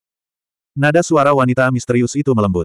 Roda yin yang dao masih sangat jauh. Sekarang Anda telah membentuk roda yang dao murni, itu berarti Anda telah benar-benar melewati ambang kultivasi transformasi sembilan yang sembilan. Anda juga telah mulai memulai kultivasi jalan yang mengejar dao surgawi. Selain itu, tidak semua orang memiliki roda dao surgawi. Penggarap yang memiliki roda dao surgawi adalah jenius sejati yang tiada taranya. Saya yakin Anda tidak akan dapat menemukan banyak orang seperti itu di seluruh dunia besar. Dalam hal ini, mengembangkan dao dunia sebenarnya berarti mengembangkan dao surgawi tertinggi. Dunia adalah langit, bumi, dan dunia adalah dao surgawi. Hanya itu yang ingin saya katakan. Teruslah bekerja keras. Di masa depan, saat Anda terus tumbuh lebih kuat, wawasan Anda akan diperluas dengan sendirinya. Desir. Sembilan Yin Frosky tiba-tiba menyapu dunia merah di belakangnya dan menghilang. Sekali lagi, sebelum Su Fang sadar kembali, wanita misterius itu telah menghilang sepenuhnya. Yang immortal segera terbang keluar dari alam suci primordial chaos. Ketika dia kembali ke tubuh utamanya, Su Fang tanpa sadar menyentuh perut bagian bawahnya dengan tangannya. Kemudian, dia melepaskan kemampuan kesempurnaannya yang luar biasa ke dalam tubuhnya. Sekali lagi, dia melihat 18 meridian yang yang membentuk dua lingkaran. Mereka seperti cangkang siput. Ini adalah teknik budidaya roda yang dao murni dari sembilan yang sembilan transformasi. Itu juga merupakan roda dao surgawi yang hanya dimiliki oleh para jenius yang tiada taranya. Ternyata latar belakangnya luar biasa. Su Fang merasa seperti telah mendapatkan harta langka. Dia dengan hati-hati mengukur 18 meridian yang Kekuatannya terutama berasal dari 18 meridian yang. Akhirnya, ia melonjak ke dalam pecahan dunia. Melalui pengembangan fragmen dunia, yang muncul adalah kekuatan dunia yin yang. Dia duduk dan menenangkan dirinya. Semuanya seperti lautan. Perlahan, dia mengaktifkan transformasi sembilan yang sembilan. 18 meridian yang dan pecahan dunia langsung mulai meledak dengan gerakan yang menghancurkan bumi. Kekuatan yang murni dan kekuatan dunia yin yang memenuhi setiap sudut tubuhnya. Menurut sirkulasi Great Heavenly Cycle, Su Fang sepuluh kali lebih kuat dari sebelumnya. Kali ini, kecepatan kultivasi Su Fang telah mencapai ketinggian yang belum pernah terjadi sebelumnya. Untuk dapat memiliki kecepatan kultivasi seperti itu di alam gua abadi, Su Fang sepertinya telah meramalkan bahwa mulai hari ini dan seterusnya, kecepatan kultivasinya akan melampaui semua dewa. Sekarang, mari kita gunakan tubuh berlian raksasa besar, telapak tangan dewa raksasa, dan tubuh emas yang tidak dapat dihancurkan. Dia tiba-tiba melayang di alam transformasi wadah. Setelah membentuk segel, seluruh tubuhnya secara tak terduga melepaskan ki dunia yin yang yang melonjak. Ia bahkan memiliki sedikit keilahian. Karena inilah ki dan energi Su Fang yang sebenarnya. Apa iblis, iblis, istana bintang ki, di depan ki dunia yin yang, tidak layak untuk disebutkan. Bahkan laut darah mata air kuning milik Kaisar Iblis mata air kuning tidak memiliki kekuatan ilahi seperti itu. Siapa? Siapa? Tubuh Su Fang tiba-tiba memancarkan arus listrik emas dalam jumlah besar yang menyilaukan. Papa-papa, setelah semburan percikan listrik, Otot dan tulang di tubuhnya justru tumbuh terbalik, menyebabkan Su Fang langsung menjadi lebih dari tiga sang. Dia seperti raksasa, monster yang berubah dari iblis raksasa. Ini adalah tubuh intan raksasa besar. Satu set jubah emas secara alami muncul di sekujur tubuhnya. Itu memiliki yang kimurni yang kuno, familiar, dan asing, serta tanda dao emas misterius. Telapak tangan ilahi raksasa. Dentang. Lengannya tiba-tiba bergetar. Ketika busur besar ditarik, dia mengangkat telapak tangannya tinggi-tinggi di udara, menembakkan dua cetakan telapak tangan emas besar berukuran sepuluh sang. Kekuatan ilahi dari dua cetakan telapak tangan emas ini benar-benar mengguncang kekuatan ilahi dari susunan alam transformasi wadah. Ini adalah telapak tangan ilahi raksasa. Kemudian, dia membentuk segel lainnya. Banyak bekas emas muncul di jubahnya, menempel erat pada daging dan kulitnya. Ini adalah tubuh emas yang tidak bisa dihancurkan. Telapak tangan ilahi Herkulean berfokus pada serangan, sedangkan tubuh emas yang tidak dapat dihancurkan berfokus pada pertahanan. Satu untuk menyerang dan satu lagi untuk bertahan, ditambah dengan tubuh berlian raksasa besar, ini hanyalah dewa perang yang legendaris. Setelah mengaktifkannya beberapa saat, ketika Su Fang kembali ke keadaan normal, dia sangat lelah hingga terengah-engah. Mengaktifkan tubuh berlian raksasa besar menghabiskan terlalu banyak truki. Namun, dia terlalu bersemangat. Setelah mencapai transformasi kedua dari sembilan transformasi sembilan matahari, keseluruhan kekuatannya telah meningkat pesat. Mengaktifkan tubuh berlian raksasa besar juga sangat cepat. Kuncinya adalah pembentukan roda yang dao murni. Kekuatan keseluruhan dan tubuh aslinya semuanya terhubung satu sama lain. Selanjutnya adalah menyatu dengan api aneh cahaya surgawi. Dia datang ke tengah dan duduk bersila. Dia mengeluarkan batu abadi dan memadatkan sebuah altar di alam transformasi wadah. Dia membutuhkan spirit ki dalam jumlah besar, jadi dia juga menelan ratusan pil esensi abadi kelas menengah. Dengan energi tersebut, Su Fang memegang api aneh cahaya surgawi di telapak tangannya. Melihat benih api aneh cahaya surgawi yang perlahan terbakar, dia sedikit fokus, karena roda yang dao murni saya melambangkan dao surgawi dan merupakan sumber kekuatan, saya akan menyuntikkan benih api aneh cahaya surgawi ke dalam jalan yang dao murni yang dibentuk oleh 18 yang meridian dan biarkan yang meridian menyatu. Tidak hanya akan memiliki kekuatan yang, tetapi juga akan memiliki kekuatan api tertinggi. Dengan cara ini, ketika saya mendapatkan lebih banyak strain fire seeds di masa depan, saya dapat mengubah murni roda yang dao ke dalam urat api fisik kaisar awan api dan kembangkan fisik kaisar awan api. Dia telah berhasil mengolah yang meridian. Jika dia menggabungkan api aneh cahaya surgawi dengan meridian lain, dia harus memulai dari awal lagi. Berapa tahun yang dibutuhkan? Jika dia secara langsung menggabungkan benih api aneh dengan yang meridian, bukankah itu akan memungkinkan yang meridian memiliki kekuatan api? Di masa depan, yang meridian juga akan menjadi urat api. Secara kebetulan, dia juga mengolah yang meridian. Ini setara dengan mengolah urat api dan fisik kaisar awan api pada saat yang bersamaan. Memikirkan hal ini, dia tidak ragu-ragu melepaskan kekuatannya menuju api aneh cahaya surgawi. Jangan takut, bergabunglah denganku. Aku memiliki kekuatan yang kamu suka di tubuhku. Dia tidak tahu apakah benih api aneh cahaya surgawi mengetahuinya, tetapi Su Fang tidak bisa menyembunyikan ekstasi di dalam hatinya. Setelah melepaskan kekuatannya, dia tiba-tiba menyedot benih api aneh cahaya surgawi ke dalam perutnya dan perlahan-lahan sampai ke roda yang dao murni yang dibentuk oleh 18 yang meridian. Hingga dia sampai pada sisi pecahan dunia. Su Fang segera mengaktifkan transformasi sembilan yang sembilan. Energi yang murni dan kekuatan dunia yin dan yang melonjak dengan gila-gilaan. Melalui roda yang dao murni yang dibentuk oleh 18 yang meridian, mereka akhirnya dituangkan ke dalam benih api aneh cahaya surgawi dan pecahan dunia. Hua hua hua. Selanjutnya, seluruh kekuatan di tubuhnya dicurahkan ke dalam Strain Fire Seed. Ia merasakan kekuatan energi yang murni, serta api sejati yang murni. Itu mulai menyatu dengan kekuatan Su Fang. Seolah ingin menyedot seluruh kekuatan di tubuh Su Fang. Su Fang juga berkeringat dingin. Namun tidak lama kemudian, api dengan kekuatan dunia yin dan yang keluar dari benih api aneh. Nyala api yang berisi kekuatan Su Fang ini adalah kekuatan api aneh cahaya surgawi. Api aneh cahaya surgawi akhirnya mulai menyatu dengan Su Fang. Setelah melahap kekuatan Su Fangda, ia mulai menyatu dengan tubuh Su Fang. Su Fang, yang awalnya merasa akan pingsan, tiba-tiba menyambut kekuatan api aneh yang agung dan menakutkan ini. 18 yang meridian benar-benar gemetar. Bahkan Su Fang merasa api aneh yang keluar dari tubuhnya akan membakar tubuhnya. Itu terlalu menakutkan. Ini adalah kekuatan api aneh cahaya surgawi. Itu melampaui wilayah Su Fang dan mencapai ketinggian yang mencengangkan. Itu bisa membakar 10.000 Su Fang. Untungnya, api aneh yang terbakar ini mengandung kekuatan Su Fang. Kalau tidak, dia akan terbakar menjadi abu. Membelanjakan. Tanpa diduga, setelah menyerap kekuatan api aneh dan menyatu dengannya untuk beberapa saat, Su Fang, yang gemetar ketakutan dan tubuhnya seperti tungku, tiba-tiba menyemburkan semburan api kesusahan dari tubuhnya. Dia menerobos. Sebelumnya, dia berada di alam abadi Gua Lima Dao. Tanpa diduga, dia bisa menerobos ke alam abadi Gua Enam Dao setelah hanya menyatu dengan bagian dari kekuatan api aneh cahaya surgawi. Dia berhenti menyatu dengan api aneh terlebih dahulu dan membiarkan api aneh menyerap kekuatan di tubuhnya. Su Fang terbang keluar dari alam transformasi wadah dan datang ke hutan dengan susunan penginderaan. Di tengah-tengah Big Goblin yang tak terhitung jumlahnya yang diam-diam berkultivasi, api kesengsaraan yang menyilaukan mulai menyala.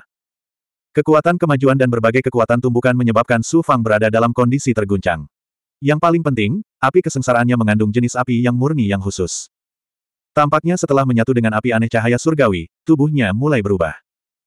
Setelah dampak kemajuan tersebut, ketika api kesengsaraan menghilang, kotoran yang menakjubkan muncul di lapisan embrio. Pada saat ini, Su Fang melihat bahwa inti asal emas, dan Tian, segel fisik, dan bukaan ilahi miliknya memiliki satu jalur Dao lagi, berubah dari lima menjadi enam. Dia telah memasuki alam abadi Gua Enam Dao. Dia melepaskan akal sehatnya dan menemukan bahwa transformasinya sangat mengejutkan. Namun, dia tidak mempedulikannya. Setelah menelan ramuan tersebut, dia kembali ke alam transformasi wadah dan terus menyatu dengan benih api aneh. Namun, dia tidak berkultivasi lama kali ini. Ketika tubuhnya menyerap setengah dari kekuatan api aneh cahaya surgawi dan tubuhnya terbakar dengan api yang murni, Su Fang benar-benar memuntahkan api kesusahan lagi. Dia menerobos lagi. Kali ini, dia tiba-tiba maju dari alam abadi Gua 6 Dao ke alam abadi Gua 7 Dao. 1026. Itu terjadi terlalu cepat dan tiba-tiba, Su Fang tidak siap. Sebelumnya, ketika dia menerobos ke alam 6 Dao, energi di tubuhnya kosong, dan transformasi tubuhnya menyebabkan ki sejatinya menjadi sangat tipis. Namun tak disangka, setelah menyerap kekuatan api aneh cahaya surgawi, tubuhnya yang seperti cangkang kosong dengan cepat pulih. Api aneh cahaya surgawi adalah roh langit dan bumi, ia menyerap banyak energi di dataran api senyap, dan itu sendiri datang dari luar langit, jadi secara alami itu bukanlah sesuatu yang dapat ditampung oleh tubuh abadi Gua Sufang. Saat dia menerobos ke alam tujuh Dao, Lau tiba-tiba berbicara dari batu giok darah, kamu harus memperlambat kemajuanmu. Su Fang tentu saja tidak mengerti, bukankah dia hanya menggunakan kekuatan ini untuk menerobos. Lau menjelaskan, api aneh cahaya surgawi bukan hanya sejenis kekuatan, itu juga semacam kekuatan ilahi langit dan bumi. Anda tidak hanya menyerap api aneh cahaya surgawi untuk menerobos, bukan? Saya mengolah awan api ilusi, saya memiliki tubuh kaisar awan api. Itu sukses. Kamu menyerap benih api cahaya surgawi tanpa menahan diri. Kamu hanya menyerap kekuatannya untuk membantumu naik level. Namun, kamu tidak membiarkan api cahaya surgawi menyerang tubuhmu. Sebaliknya, kamu membiarkan itu menyatu dengan setiap sudut tubuh dan meridianmu. Saya mengerti, sekarang saya akan menerobos ke alam tujuh dao, saya tidak akan menyerap separuh kekuatan yang tersisa, tetapi mengaktifkan awan api ilusi, memandu kekuatan api aneh cahaya surgawi untuk menyerang tubuh saya. Setelah Su Fang mengerti, Lau tidak berbicara lagi. Untungnya, Lau berbicara tepat waktu, jika tidak, Su Fang akan benar-benar menyerap api aneh cahaya surgawi sebagai energi. Dengan cara ini, api aneh cahaya surgawi hanya akan menyatu dengan tubuhnya.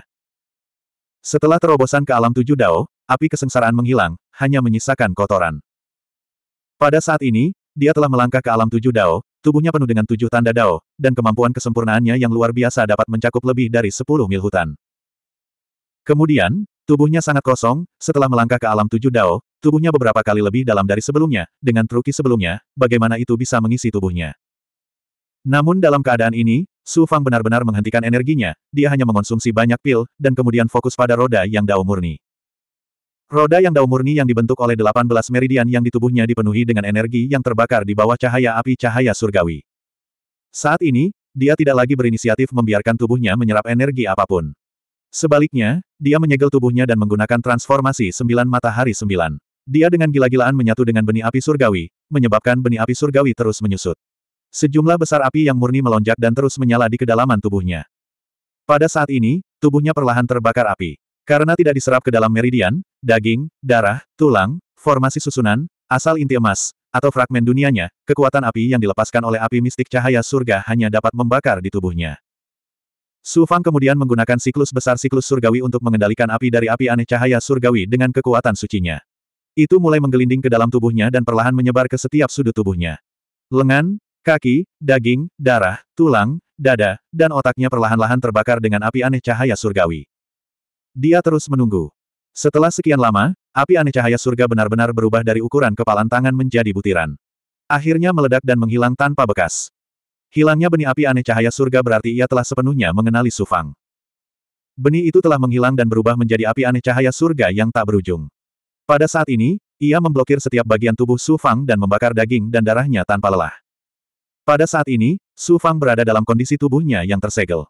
Kulitnya tidak lagi menyerap energi spiritual eksternal, dan tubuhnya tidak lagi menyerap api aneh cahaya surga.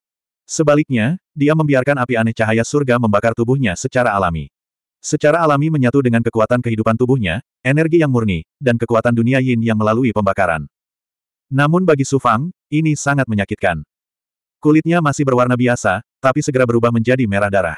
Bahkan wajahnya pun sama, menjadi merah. Bahkan kepalanya menjadi merah menyala, memperlihatkan kekuatan api suci yang tak terlihat.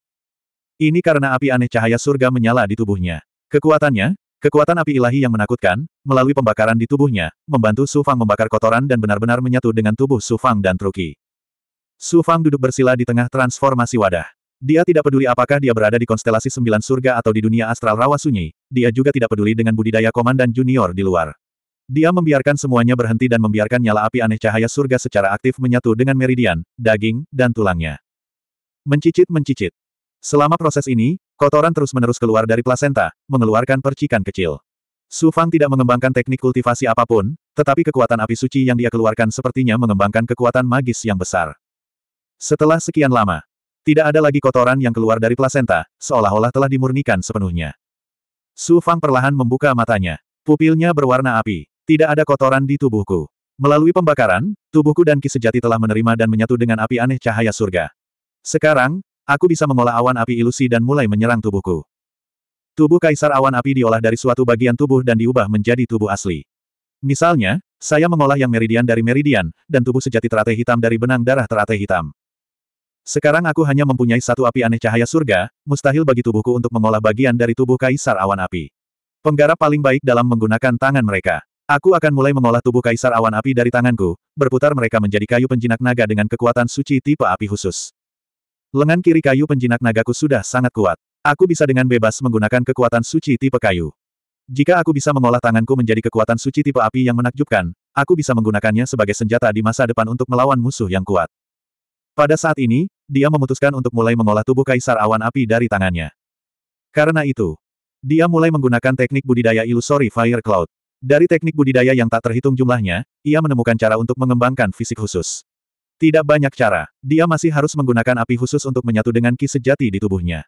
Kemudian, dia mulai membuka meridian dan daging tubuhnya, menggabungkannya dengan ki sejati dan kekuatan suci tipe api. Hanya dengan begitu tubuhnya dapat memiliki kekuatan suci tipe api.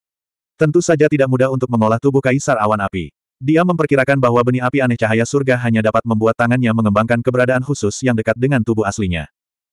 Setelah menggunakan teknik budidaya, kekuatan ilahi ilusory fire cloud mulai menyebar ke seluruh tubuhnya. Semua api yang merembes ke sudut tubuhnya yang tak terhitung jumlahnya mulai melonjak ke arah tangannya. Api ini berubah menjadi awan api yang menyala khusus melalui budidaya teknik budidaya awan api ilusi.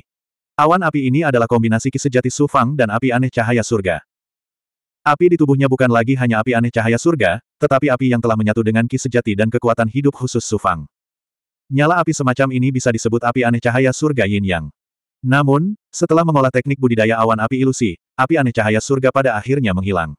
Api sejati yang murni juga menghilang. Pada akhirnya, itu menjadi ilusory fire cloud yang sebenarnya, awan api yang membakar dan mengerikan.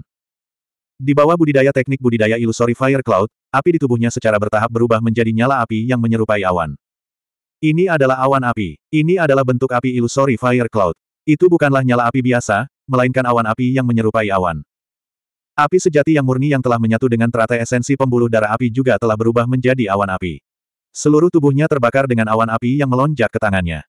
Namun, saat ini, kulit Sufang telah kembali normal. Namun, telapak tangan dan pergelangan tangannya kembali memerah. Lambat laun, gelombang asap hitam mulai keluar. Ini karena api aneh cahaya surga yang menyatu dengan tubuhnya telah berubah menjadi awan api ilusi. Itu terkonsentrasi di telapak tangannya dan mulai terbakar dengan ganas. Tanpa sadar tangannya gemetar, menyebabkan percikan api mendesis tak henti-hentinya.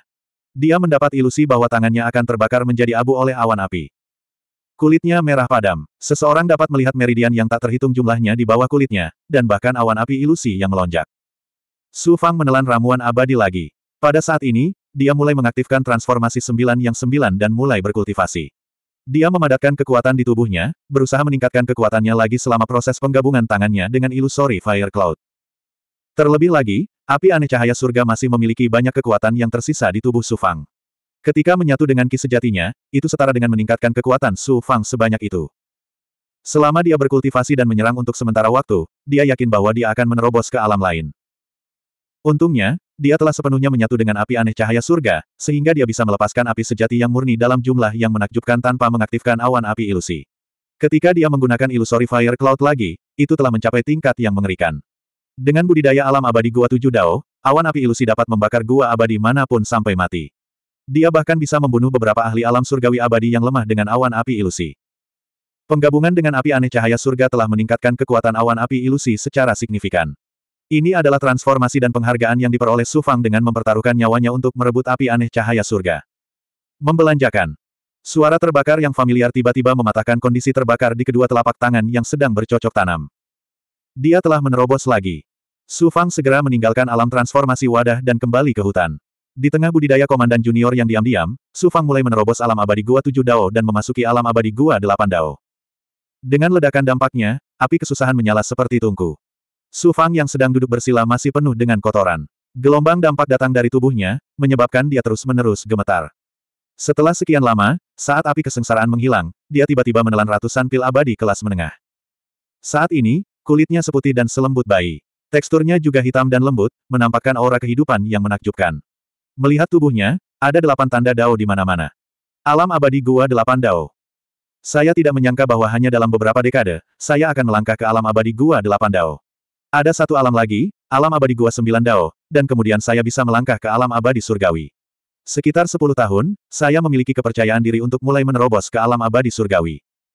Benar saja, saya keluar untuk mengalami hidup dan mati. Hanya dengan mengalami hidup dan mati dan mendapatkan harta langka saya dapat menerobos dan terus menerobos. Ini adalah sesuatu yang tidak dapat dibandingkan dengan alam misteri harta karun surgawi. Alam misteri harta karun surgawi selalu merupakan ruang untuk merasakan harta magis. Itu setara dengan dipaksa untuk berkultivasi. Tapi di gurun ini, itu adalah bertahan hidup. Setelah bertemu dengan Dewa Kematian berulang kali, saya bisa mendapatkan pertemuan yang tidak disengaja dan menjadi lebih kuat. Selanjutnya, saya akan berkultivasi sebentar dan mencapai alam abadi Gua Delapan Dao. Setelah mengolah telapak tangan saya beberapa saat, saya dapat meninggalkan hutan ini dan menemukan sumber inti emas iblis kuno, yang merupakan reruntuhan iblis misterius. Setelah melangkah ke alam delapan dao, segalanya berubah. Keadaan pikirannya berubah secara alami. Perlahan-lahan, dia merasakan perasaan familiar sebagai seorang ahli. Melepaskan kemampuan tahap kesempurnaan, dengan hutan sebagai pusatnya, dia secara kasar bisa merasakan sekitar 20 mil dari hutan gurun. Selama masih ada gerakan, itu tidak akan luput dari akal sehatnya. Kecuali jika itu adalah ahli tingkat tua yang tiada taranya seperti Sovereign Bamo. Su Fang juga merasa bahwa dengan kekuatannya saat ini, dia telah melampaui monster katak Luxiong. Bahkan kekuatan Bailing mungkin dilampaui olehnya. Tapi Bailing memiliki Chaos Ring dan selalu sangat kuat. Menghitung dengan jarinya, dia telah berkultivasi di sini selama 10 tahun penuh. Sudah waktunya. Dengan budidaya alam abadi Gua Delapan Dao dan api aneh cahaya surgawi, panennya benar-benar mengejutkan. Mengaktifkan pagoda enam jalan Suan Huang, dia menyedot semua komandan junior ke dalam ruang harta karun ajaib. Void Das Cauldron juga kembali ke tubuhnya. Menggunakan alam abadi Gua Delapan Dao saja, dia terbang keluar dari hutan dengan cepat. 1027. Setelah memasuki alam abadi Gua Dao ke-8, Su Fang seperti ikan di air di gurun ini. Selama dia menggunakan kemampuan lingkaran penuhnya, dia akan bisa merasakan sebagian besar belenggu. Dengan cara ini, ancaman akan semakin menjauh darinya. Selain itu, berbagai kemampuannya juga telah berevolusi. Sekarang, kemampuannya di gurun ini mirip dengan Sky Immortal. Langit abadi. Di dunia yang lebih luas, dia sudah menjadi ahli yang diakui dan dihormati. Kebanyakan makhluk abadi, entah itu mistik, kemampuan, atau aspek lainnya, jauh lebih unggul daripada Dewa Gua. Kemampuan lingkaran besar benar-benar menakjubkan. Bahkan di gurun ini, itu bisa membantuku merasakan apa pun yang terjadi beberapa kilometer jauhnya, atau bahkan lima kilometer jauhnya. Dengan begitu, jika ada penggarap, ancaman, atau iblis besar, aku bisa segera rasakan mereka. Dalam waktu kurang dari setengah jam, dia terbang keluar dari hutan. Di dalam kabut berbintang yang luas, terdapat pasir bintang di dalam kabut. Penggarap tidak dapat berkultivasi, tetapi Su Fang dapat menggunakan kekuatan dunia yin dan yang untuk menyerap sedikit ki spiritual itu. Dengan cara ini, dia bisa menginjak kehampaan dan berdiri di tengah kabut. Bahkan Dewa Langit tidak bisa dibandingkan dengan Su Fang dalam aspek ini. Dalam hal kekuatan dunia, Su Fang tidak hanya melampaui Dewa Gua, tetapi juga Dewa Langit. Bahkan Sky Immortals tidak memiliki mistik yang menakjubkan. Jika saya ingin menemukan asal-usul inti emas iblis kuno, bahkan Huang Fufei pun tidak akan mengetahuinya. Pembudidaya gua iblis abadi Dao itu telah ditekan selama 10.000 tahun. Dia tidak akan dengan mudah menceritakan rahasianya kepada Huang Fufei. Inti emas iblis kuno sebenarnya memiliki laut darah mata air kuning dari kaisar iblis mata air kuning.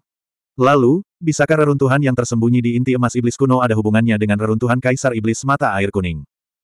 Dalam kabut, dia melintas lagi dan sampai di sebuah gunung yang tertutup pasir bintang. Di depannya ada gurun yang lebih spektakuler. Apalagi di depannya, ada zona bahaya yang ditandai di peta.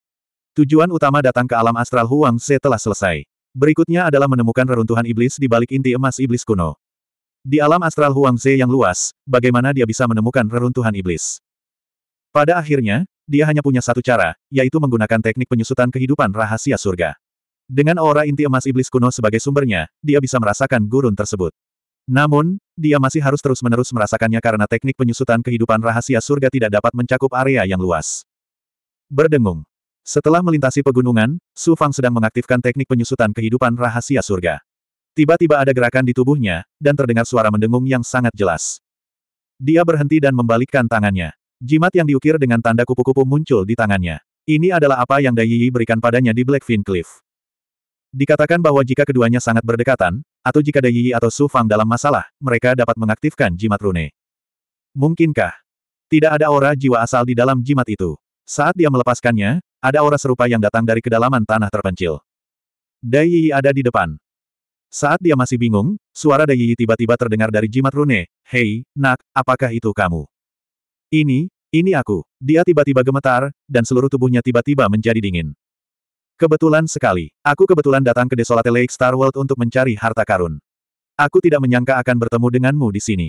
Kupikir aku akan bertemu dengan bangga surga yang mengucapkan kebencian. Datanglah ke Gunung Bintang Tujuh Jangkauan. Aku akan menunggumu di sini. Oke, Junior akan bergegas secepatnya. Jimat rune itu menjadi tenang dan memandangi dunia kabut bintang yang tebal di depannya. Itu adalah tempat lain yang sangat berbahaya di Desolate Lake Star World. Pegunungan Bintang 7 Pegunungan ini sangat luas. Itu ditutupi oleh lapisan kabut bintang dan nebula sepanjang tahun. Ada juga tujuh gunung besar berbentuk bintang, yang memberinya nama Pegunungan Bintang 7. Karena dia dipanggil oleh Dai Yi, dia hanya bisa menguatkan dirinya dan bergegas. Untungnya, dia bukan lagi seorang virtual immortal atau spirit immortal. Dia sekarang adalah Kev Immortal tingkat tinggi, dan kekuatannya seratus kali lebih kuat dari sebelumnya. Dia akhirnya memiliki kepercayaan diri untuk melawan Dai Yi. Sekitar dua jam kemudian, di bawah segala macam tekanan, dia memasuki kedalaman kehampaan berawan dengan cahaya bintang dan kabut bintang yang mengejutkan. Setelah beberapa waktu, dia melihat puncak gunung yang ramai di kedalaman kabut bintang. Mereka berdiri tegak dan menembus kedalaman kabut. Ini adalah pegunungan bintang tujuh. Dia terbang ke bawah dan melihat hutan yang rimbun. Kemudian, beberapa rune dao muncul di benaknya, dan aura ilahi menyelimuti dirinya. Itu adalah Dai Yi.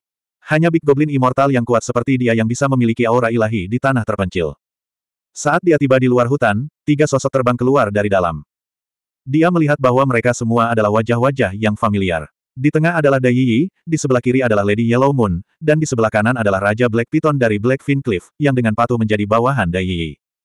Bahkan jika dia menjadi gua abadi, Su Fang tidak memiliki peluang.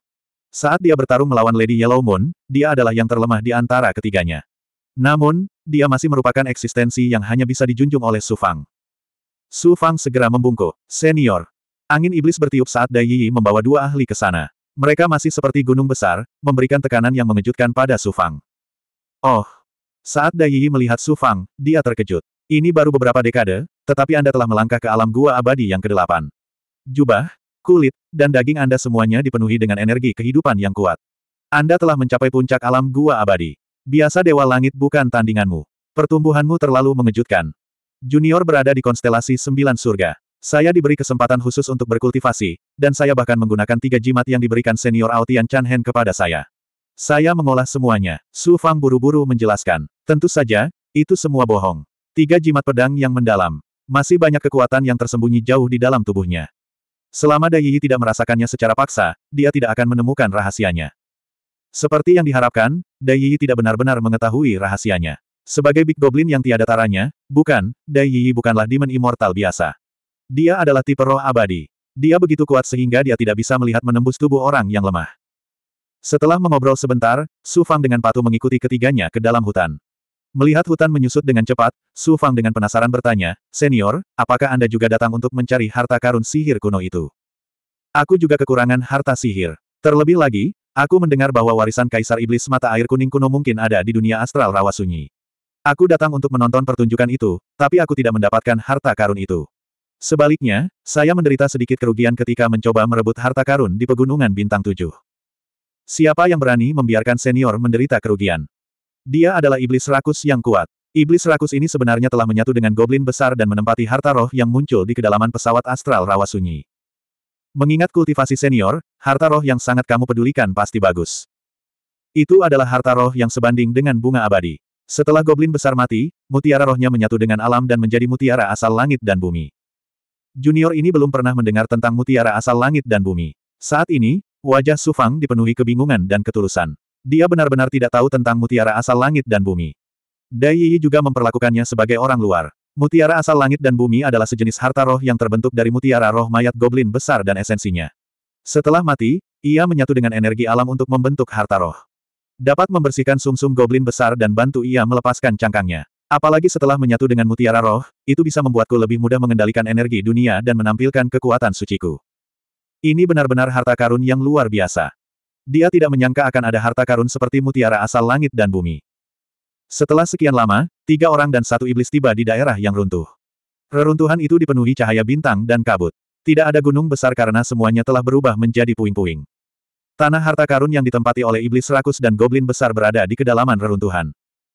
Setelah bersembunyi di bawah tebing terdekat, Su Fang mengetahui lebih banyak tentang rahasia mutiara asal langit dan bumi. Puing-puing ini sudah lama berada di sini. Kemungkinan besar pemilik mutiara asal langit dan bumi sayangnya terjatuh di sini setelah pertempuran, membentuk mutiara asal langit dan bumi. Namun, iblis rakus dan goblin besar telah menemukan tempat ini terlebih dahulu dan secara paksa dibudidayakan di tanah harta karun ini. Kemudian mereka menduduki tanah harta karun ini dan menyerap energi mutiara asal langit dan bumi siang dan malam, menjadi semakin kuat.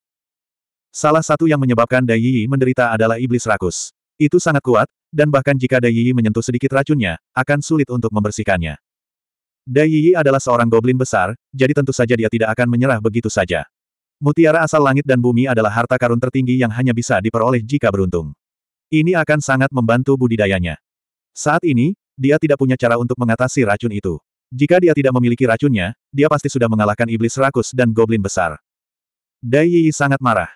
Jika aku bisa memanfaatkan kesempatan ini dengan baik, maka aku bisa menggunakan Dai Yi untuk mendapatkan iblis rakus dan goblin besar. Jika aku bisa mendapatkan goblin besar dan iblis rakus di bawah komandoku, aku bahkan tidak perlu khawatir tentang Sky Penggarap Alam Abadi. Su Fang mulai menghitung lagi. Tiba-tiba, dia membuat keputusan yang mengejutkan. Dia datang ke sisi Dai Yi dan berkata bahwa dia punya cara untuk menghadapi iblis rakus. Permaisuri Yellow Moon dan Raja Black Piton mendengus dengan nada menghina. Namun, Dai Yi menyuruhnya berbicara perlahan.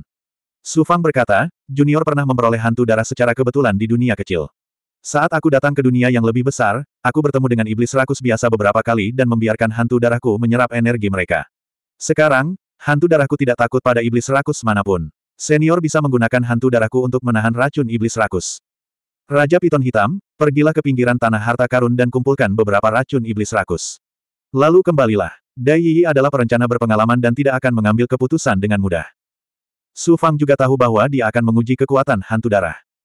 Maka, Dua jam kemudian, ketika Raja Piton Hitam kembali dengan membawa air hitam yang mengandung racun, Su Fang mengeluarkan hantu darah.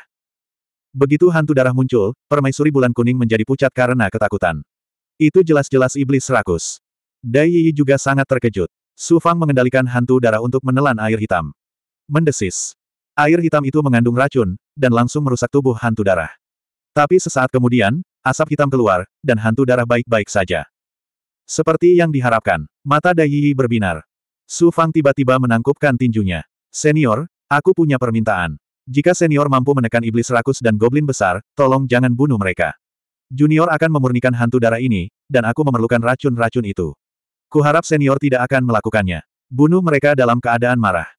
Jangan katakan itu. Aku benar-benar ingin membunuh mereka. Tapi karena kamu telah banyak membantuku, secara alami aku akan memenuhi keinginanmu.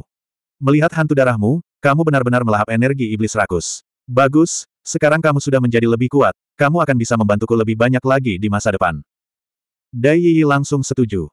Dia segera membicarakan hal ini dengan permaisuri bulan kuning dan Raja Piton Hitam. Dia akan memimpin hantu darah dalam serangan frontal. Begitu dia menekan iblis rakus, permaisuri bulan kuning dan Raja Piton Hitam akan menyerang dari samping untuk menghadapi goblin besar.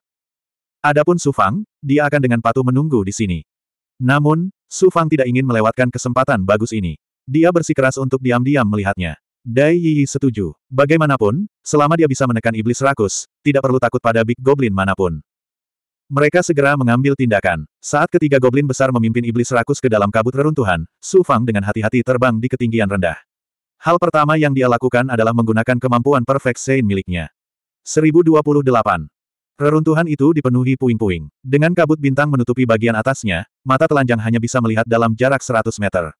Bahkan jika dia menggunakan persepsinya, itu akan ditekan oleh kekuatan desolate dari reruntuhan. Tutu.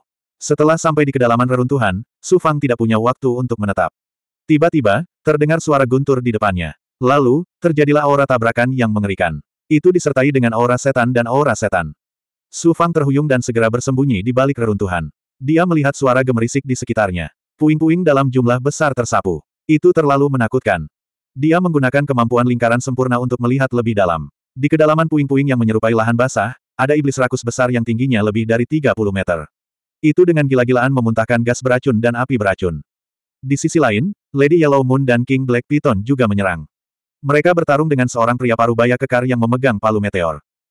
Aura yang tercipta dari pertarungan keduanya tiba-tiba berubah menjadi lapisan gelombang kejut.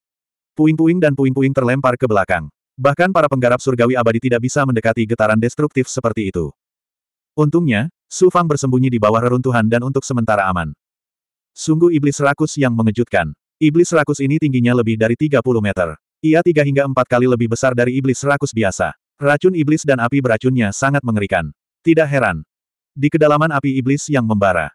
Su Fang melihat Dai Yi menggunakan aura iblisnya Suan Guang. Dia menggunakan goul untuk menyerap gas beracun yang dimuntahkan oleh iblis rakus. Dia memang kuat. Dai Yi sangat kuat. Dia sedang menghadapi iblis rakus, yang dianggap sebagai kutukan bagi binatang iblis. Dia tidak mengira dia begitu kuat. Tentu saja, jika Goul tidak mampu menahan gas beracun iblis rakus, akan terlalu sulit baginya untuk menangani racun itu sendirian. Dalam waktu kurang dari beberapa saat, Lady Yellow Moon telah berubah menjadi wujud aslinya. Dia adalah Oriole kuning dengan sayap yang menakjubkan.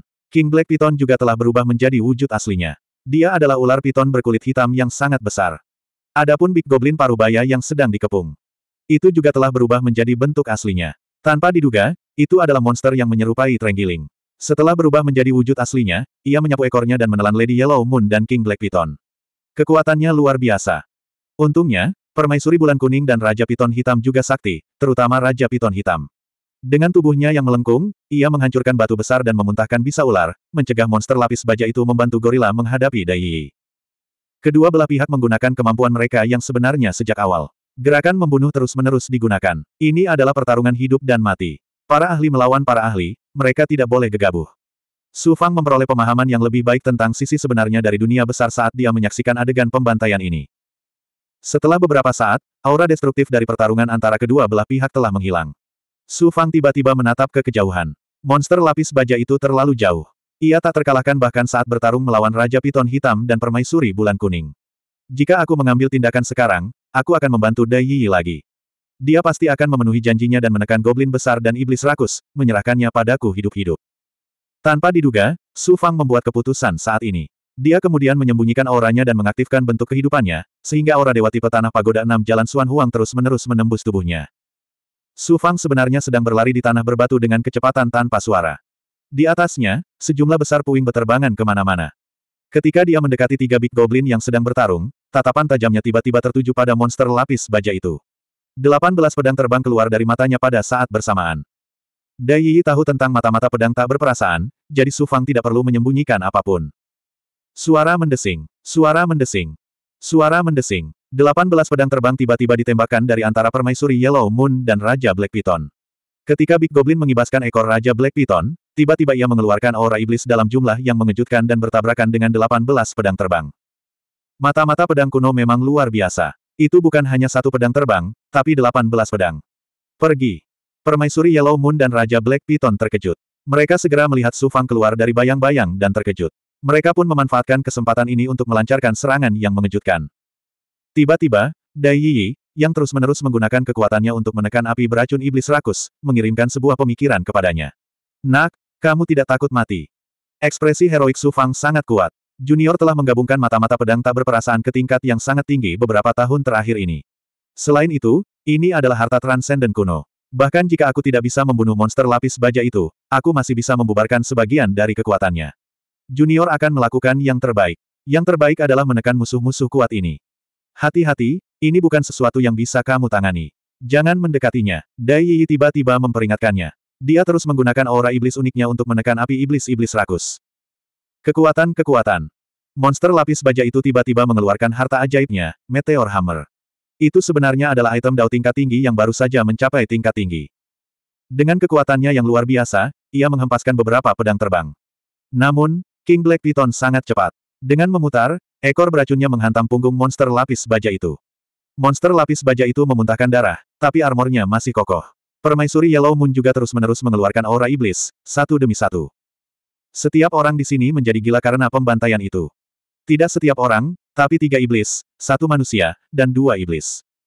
Kepulan-kepulan. Saat pedang terbang tak berperasaan dihempaskan, Su Fang juga tidak bisa mengendalikan dirinya sendiri. Dia batuk beberapa suap darah. Untungnya, permaisuri bulan kuning dan Raja Piton hitam mulai unggul. Kedua Big Goblin juga mendesak pedang terbang mereka untuk menembakkannya lagi dan lagi. Mereka terkunci dalam pertempuran dengan Meteor Hammer. Dari waktu ke waktu, monster lapis baja itu akan diserang oleh Raja Piton Hitam. Ia mulai terluka. Aku harus bekerja lebih keras. Sungguh tidak mudah menghadapi Big Goblin semacam ini. Tubuh monster lapis baja itu berlapis baja, dan aura iblisnya melonjak. Seluruh tubuh iblisnya mendominasi seperti gunung. Pedang terbang tak berperasaan hampir terlempar. Melihat pemandangan ini, Su Fang menekan aura darah yang melonjak di tubuhnya dan tiba-tiba memerintahkan 12 pembudidaya iblis dari Pagoda Enam Jalan Suan Huang untuk bekerja sama. Gelombang kekuatan sihir menyembur keluar dari pagoda enam jalan Suan Huang dalam sekejap. Setelah membentuk segel dengan Su Fang, kekuatan sihir dan kisejati dari 12 ahli dengan cerdik ditambahkan ke tubuh Su Fang melalui harta sihir kelahiran mereka. Inilah perbedaan antara harta ajaib. Inilah perbedaan besar antara harta sihir biasa dan harta sihir kelahiran. Harta sihir biasa, seperti transformasi kuali debu kekosongan, hanya dapat membantu Su Fang menyempurnakan berbagai jenis kekuatan. Namun, mustahil bagi mereka untuk menambah kekuatan dengan sempurna pada tubuh Su Fang. Su Fang hanya bisa menggunakan transformasi kuali dan formasi susunan untuk menyerap kekuatan ke dalam tubuhnya dan menyempurnakannya. Akhirnya, dia bisa menggunakan kemampuan ilahi miliknya. Proses ini lambat dan menghabiskan banyak energi. Namun, harta ajaib kelahiran bisa menghemat waktu seratus kali atau bahkan seribu kali lipat. Mereka juga dapat dengan sempurna menambahkan kekuatan ke tubuh Su Fang, seolah-olah kedua belas pembudidaya iblis itu sendiri yang mendesak kekuatan tersebut. Inilah alasan mengapa Su Fang bersikeras untuk meningkatkan pagoda enam jalan Suan Huang, pedang siang berbintang, dan labu roh awan flaming. Harta ajaib yang dia budidayakan selalu memiliki keuntungan besar. Astaga, astaga, astaga, dari 18 pedang terbang tak berperasaan yang mengelilingi monster lapis baja itu, 12 pedang terbang tiba-tiba hidup kembali. Di bawah intersepsi kuat dari aura dominan monster lapis baja, mereka tiba-tiba berjuang, menerobos pertahanan, dan menyerang monster lapis baja itu lagi. Terlebih lagi, kedua belas pedang terbang itu mulai berubah dan terjalin satu sama lain. Enam pedang terbang yang tersisa juga membentuk formasi pedang aneh dan menyerang monster lapis baja dari sisi lain. Monster lapis baja itu sangat kuat dan memiliki harta sihir tingkat tinggi. Namun, sekuat apa pun tubuhnya, ia akan terluka parah jika terkena pedang terbang tak berperasaan. Pada saat ini, pedang terbang tanpa ampun akhirnya menunjukkan kemampuan mereka yang sebenarnya. Mereka berubah menjadi cincin dan lapisan pedang ki halo di sekitar monster lapis baja. Adapun monster lapis baja, ketika menggunakan palu meteornya, ia hanya menyerang pedang ki halos yang kuat dan menghancurkan formasi pedang menjadi beberapa bagian. Adapun pedang terbang tanpa ampun yang sebenarnya, mereka secara cerdik disembunyikan di bawah formasi pedang.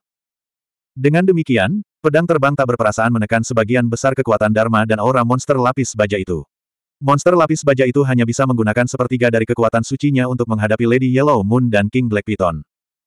Pada saat itu, dua Big Goblin, Lady Yellow Moon dan King Black Python, mengungkapkan kondisi aura iblis mereka yang tak terkalahkan. Gelombang aura iblis menghantam palu meteor, namun ekor Raja Black Python menekannya lagi dan lagi. Selain itu, kedua pedang terbang Big Goblin menekan palu meteor di tangan monster lapis baja itu. Pada saat itu, monster lapis baja itu tidak lagi mampu menyerang. Ia mengangkat palu meteor dan meringkuk tubuhnya untuk melindungi dirinya sendiri. Ini sudah berakhir. Ketika Su Fang melihat pemandangan ini, dia menghela napas lega. Namun, ia tidak menyangka tubuh fisiknya akan terluka parah. Itu adalah Big Goblin yang menangani pedang terbang tak berperasaan, dan kemudian mengirimkan kekuatan kejut. Ini adalah ketidakberdayaan yang disebabkan oleh perbedaan dalam bidang kultivasi. Masih mengendalikan formasi pedang tanpa emosi dengan 12 penggarap iblis, monster lapis baja tidak bertahan lebih dari setengah dupa sebelum tubuh ular Raja Piton Hitam melilit tubuh monster lapis baja. Pada saat ini, tubuh ular Raja Piton Hitam memperlihatkan garis otot yang menakjubkan, yang menunjukkan betapa menakutkannya kekuatannya. Monster lapis baja itu sangat kejam sebelumnya, tapi sekarang dia terjerat oleh Raja Piton Hitam, dia tidak bisa melawan. Untungnya, tubuh fisiknya kuat, jika tidak maka ia akan terjerat berkeping-keping. Mari kita lihat apakah kamu masih bisa jujur. Lady Yellow Moon mengendalikan pedang terbang itu dan menusuk dahi monster lapis baja itu. Pedang itu hampir menembus kepala monster lapis baja itu. Untungnya, dia tidak menyerang. Kalau tidak, bagaimana Su Fang bisa mendapatkan monster lapis baja yang kuat ini? Su Fang juga menyingkirkan pedang terbang tak berperasaan. Tanpa menunggu Lady Yellow Moon menolak, dia terbang menjauh. Adapun Lady Yellow Moon, dia bekerja sama dengan King Black Python untuk menekan monster lapis baja itu, membuatnya patuh. Senior. Sesaat kemudian, Su Fang tiba di pinggiran api iblis setinggi 300 meter. Api iblis ini dimuntahkan oleh iblis Gorp. Tidak hanya memiliki kekuatan pembakaran yang mengerikan, tetapi juga sebanding dengan lava bawah tanah di Silent Flame Plains. Lebih penting lagi, itu juga mengandung racun khusus Gorp Devil. Bahkan Dai Yi tidak akan merasa enak jika dia ternoda oleh racun itu. Dia melayang di atas api iblis, dan dengan kekuatan melahap Gold Eater yang menakjubkan, api iblis itu tersedot ke dalam mulutnya. Dai Yi bahkan tidak melirik Su Fang. Dia berteriak, jangan mendekat. Iblis Gorp ini tidak hanya memakan racun, tapi kekuatan melahapnya juga luar biasa. Ia bisa langsung menghancurkan item dao kelas rendah, dan bahkan item dao kelas menengah pun tidak bisa melukainya. Aku akan segera menekannya. Baiklah, Su Fang menunggu di luar sambil buru-buru menelan pil obat. Menggunakan kemampuan Gold Eater, Dai Yi terus-menerus mendekati Iblis Gorp. Dia tidak lagi takut dengan api beracun itu. Begitu dia berada pada jarak tertentu, Dai Yi tiba-tiba menembakkan sinar cahaya yang berisi ki iblis yang mengejutkan. Rantai yang menyerupai cahaya bintang ditembakkan ke arah Gorp Devil. Satu-satunya metode serangan Gorp Devil adalah mulutnya. Ia menggunakan mulutnya untuk mengeluarkan api beracun, gas beracun, racun, dan gigitan untuk menghancurkan benda. Namun, ia tidak memiliki metode serangan lain selain tubuhnya. Saat rantai itu turun, iblis Gorp dengan liar memuntahkan api beracun. Namun, api beracun hanya dapat mengurangi kecepatan dan momentum rantai sambil menimbulkan korosi, sehingga iblis Gorp masih ditekan dengan paksa di tengah rantai dan diikat erat.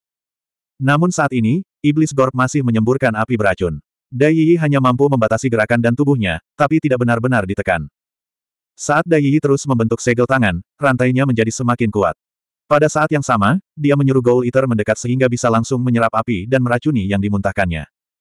Gold Eater benar-benar kuat. Ia terus-menerus memakan api dan gas beracun pihak lain. Dengan cara ini, Dai Yi tidak perlu lagi mengkhawatirkan iblis Gorp. Aspek paling menakutkan dari Gorp Devil adalah gas beracun dan apinya. Sekarang setelah ditekan, dengan basis budidaya Dai Yi, dia tidak perlu takut akan hal itu. 1029. Rantai itu sebenarnya mengandung sepertiga ki sejati dari konstelasi sembilan surga. Ini berarti Dai Yi juga mengembangkan mantra konstelasi sembilan surga. Su Fang melihat rantai yang luar biasa itu. Rantai semacam ini adalah kemampuan yang dapat dikuasai oleh sebagian besar petani, terutama yang kuat. Kebanyakan dari mereka digunakan untuk menyerang. Namun Su Fang melihat ada sesuatu yang berbeda pada rantai Dai Yi. Dia merenung, atau mungkin dia memperoleh kekuatan istana astral dari aspek lain. Ki sejati itu berpadu sempurna dengan ki spiritual khusus dan ki iblisnya. Tidak heran dia memiliki metode seperti itu. Energi dunianya juga sangat kuat. Dia tiba-tiba memikirkan alasan mengapa Dai ditekan di Illusory Snow Grounds dan hubungannya dengan Ao Tian Changhen. Mustahil bagi goblin besar untuk berkultivasi di konstelasi sembilan surga. Dia juga memiliki ki sebenarnya dari Istana Astral. Dia pasti ada hubungannya dengan Ao Tian Changhen. Dia sangat ingin tahu tentang apa yang dialami oleh goblin besar dan penatua yang tiada taranya seratus ribu tahun yang lalu. Sampai jumpa. Getaran dahsyat meledak seperti guntur musim semi. Su Fang memandang ke depannya dengan kaget. Dia melihat tangan Dai Yi terjalin erat, dan rantai dengan patuh melilit gorila. Semua api iblis, ki iblis, dan racun telah lenyap. Gorila telah sepenuhnya ditekan oleh Dai Yi. Su Fang perlahan terbang. Saat itulah api iblis di sekelilingnya perlahan menghilang. Dai Yi menghela nafas lega. Sepertinya dia belum menggunakan banyak ki aslinya. Ada banyak iblis gorila seperti ini di alam bintang danau sunyi. Aku tidak menyangka akan bertemu dengan yang seperti ini. Terakhir kali aku berada di alam bintang danau sunyi, aku melihat iblis gorila yang lebih besar. Su Fang teringat pertama kali dia datang ke alam bintang danau sunyi dan bayi Huang Fu. Iblis gorila itu bahkan lebih besar dari yang ini. Alam bintang danau desolate sangat rumit dan luas. Pasti ada iblis gorila yang lebih kuat lagi. Ini juga merupakan alasan mengapa ahli dao iblis dari Gunung Iblis sering muncul di alam bintang Danau Desolate. Jika Gunung Iblis menekan iblis gorila yang kuat ini dan membawa mereka kembali ke Gunung Iblis, ini dapat membantu banyak kultivator dao iblis menjadi lebih kuat. Gunung Setan. Untungnya, kami memiliki goulmu, kalau tidak aku akan pusing menghadapinya. Tubuh utama mereka tidak terlalu kuat, tapi kemampuan bawaan mereka untuk mengonsumsi racun terlalu mengejutkan. Hampir setiap goul memiliki jenis racun yang berbeda. Sekali terinfeksi, sangat sulit untuk menyembuhkan mereka. Ras iblisku juga memiliki racun, tapi masih sedikit lebih lemah daripada Goul.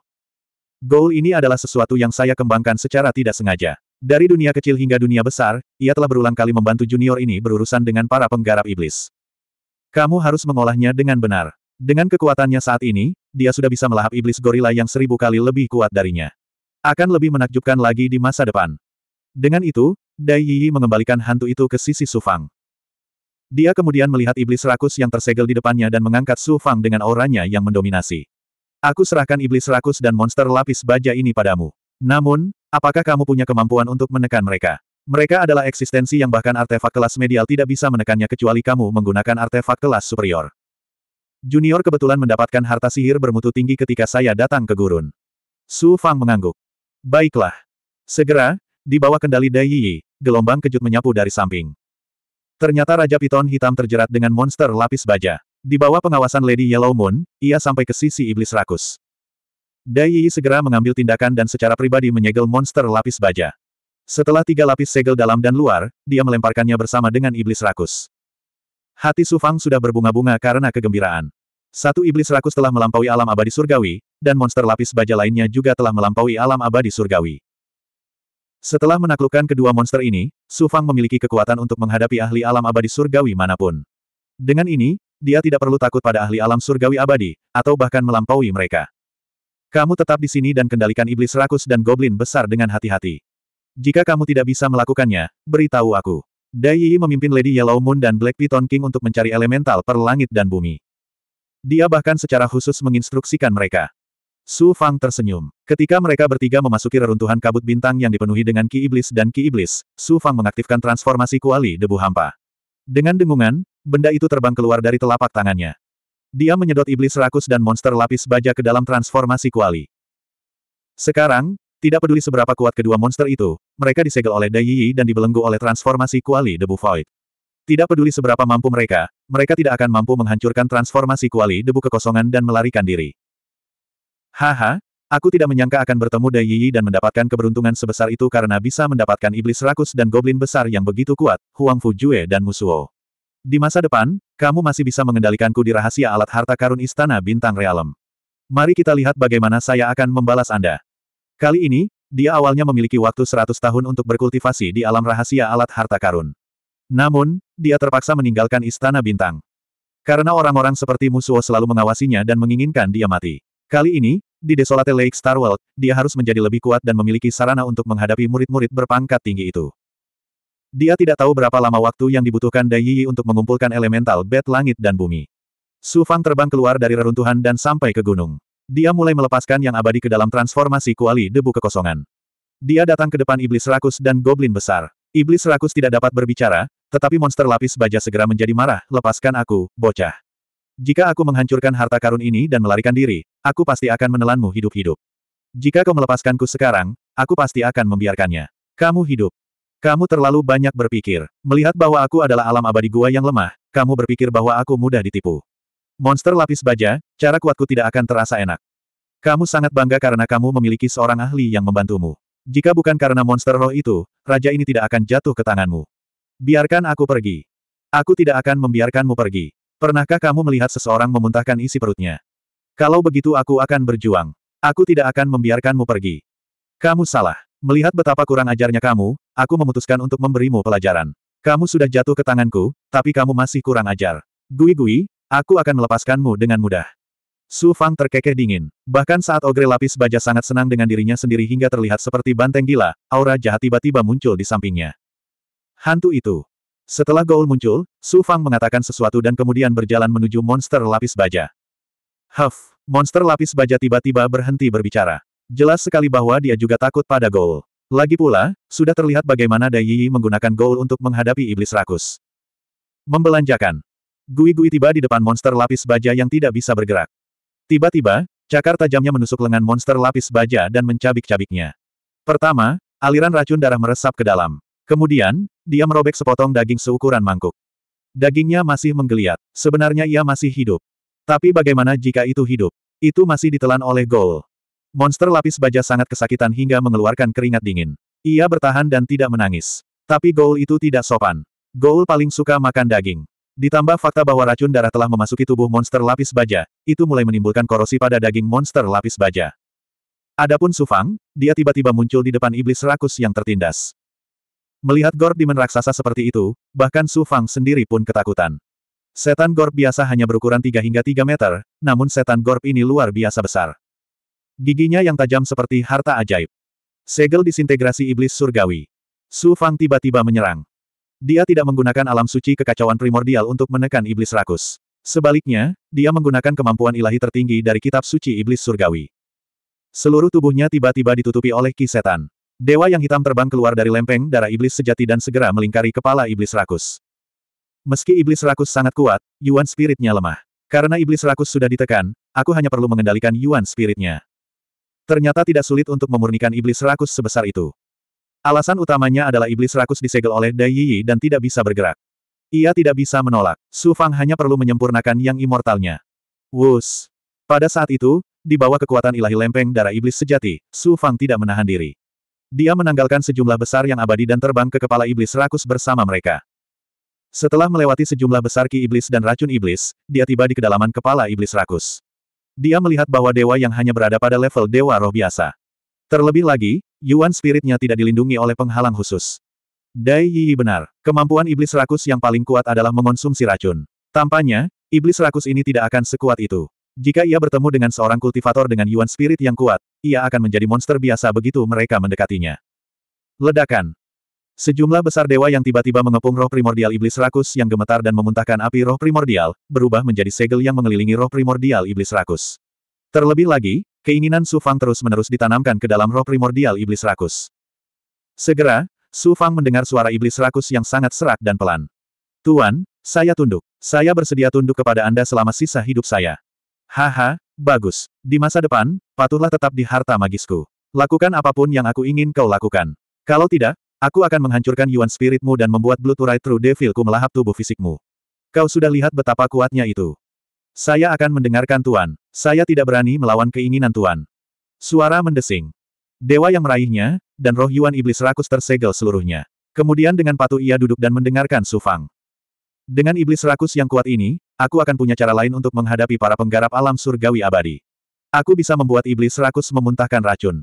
Bahkan para ahli itu tidak akan mampu menahan racun setelah diracuni, apalagi aku. Su Fang tentu saja harus memikirkan kegunaan yang baik dari iblis rakus sebesar itu. Dia secara alami tidak bisa membiarkan hantu darah iblis sejati melahapnya. Sebaliknya, dia akan menggunakannya untuk menghadapi musuh yang kuat di masa depan. Apalagi dengan kemampuan melahap dan kemampuan memakan racunnya, bahkan ahli pemurnian racun seperti Bai Kubing pun akan pusing menghadapi iblis rakus ini. Iblis rakus memiliki dua kemampuan hebat. Yang satu memakan racun, dan yang lainnya melahap. Mulutnya sangat tajam, dan bahkan bisa menelan item dao kelas menengah. Di masa depan, Su Fang mungkin bisa memanfaatkan kemampuan iblis rakus dengan baik. Di masa depan, dia bisa membuat iblis sejati hantu darah dan iblis rakus berkultivasi bersama. Dengan melahap kemampuan memakan racun khusus milik iblis rakus, hantu darah akan menjadi lebih kuat. Lalu dia meninggalkan dunia mental iblis rakus. Dia segera melepaskan lapisan segel pada iblis rakus dan menyerapnya ke dalam pagoda enam jalan Suan Huang. Dengan cara ini, iblis rakus bisa dianggap sebagai komandan kecil. Su Fang kemudian melihat ke arah iblis lapis baja. Dalam waktu sesingkat itu, daging dan darah lengan monster lapis baja dirobek sepotong demi sepotong oleh Gui Gui dan ditelan di depan monster lapis baja. Lengan iblis lapis baja semuanya berupa tulang, terhubung ke beberapa meridian dan daging. Darah ada di mana-mana. Ia sangat ketakutan hingga mengatupkan giginya dan gemetar. Gui-gui, makanlah perlahan. Jangan makan terlalu cepat, atau kamu akan mati dalam dua gigitan. Su Fang terkekeh. Iblis, aku punya banyak cara untuk menghadapimu. Bagaimanapun, aku tidak sedang terburu-buru saat ini. Hanya racun darah yang bisa menyiksamu seumur hidupmu. Ini adalah dunia harta karun ajaibku, dan ini adalah item dao kuno bermutu tinggi. Kamu tidak dapat menghancurkannya. Ditambah lagi, ada segel di tubuhmu. Kamu tidak akan bisa melarikan diri. Su Fang dengan dingin mencibir dan menghilang dari Crucible Transformation World. 1030. Tidak peduli seberapa kuat dan kuatnya monster lapis baja itu, sekarang ia hanyalah sepotong daging di talenan. Su Fang bisa menghadapinya sesuka dia. Setelah terbang keluar dari kuali debu hampa, dia menunggu beberapa saat. Kemudian, tiga sosok terbang keluar dari kedalaman reruntuhan kabut bintang. Dai Yi memimpin Lady Yellow Moon dan Black Python King.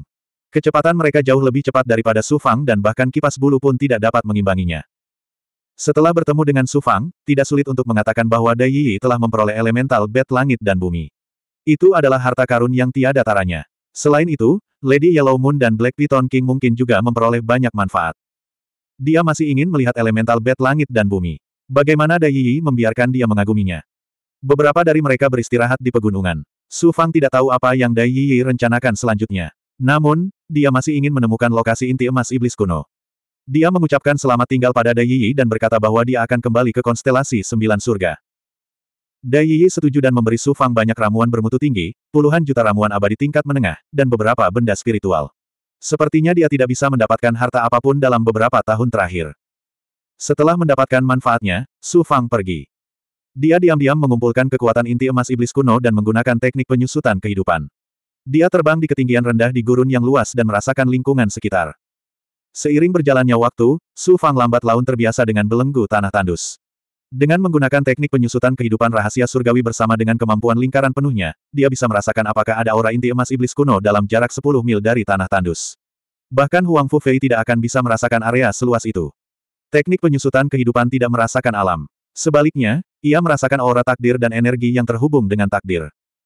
Setelah memperoleh dan bergabung dengan inti emas iblis kuno, nasib Su Fang terhubung dengan nasib pemilik inti emas iblis kuno. Tanpa disadari, keduanya sudah terlanjur bergabung. Su Fang melewati banyak area berbahaya dan secara bertahap memasuki kedalaman pesawat astral Huang Ze. Namun, mereka tidak mendapatkan apa pun dalam perjalanannya. Sebaliknya, mereka merasakan banyak kekuatan datang dari segala arah, serta sejumlah besar petani. Ada juga beberapa Big Goblin yang kuat dan bahkan beberapa murid dari konstelasi Sembilan Surga. Mereka juga melewati Phoenix Transformation Canyon. Saat ini, ada banyak sekali kultivator yang memasuki Phoenix Transformation Canyon untuk memperebutkan harta karun. Ini karena dari waktu ke waktu, akan terjadi guncangan besar di dalam ngarai. Tidak ada yang tahu apakah itu adalah kelahiran harta ajaib, tetapi setiap kultivator bermimpi mendapatkan harta ajaib yang luar biasa.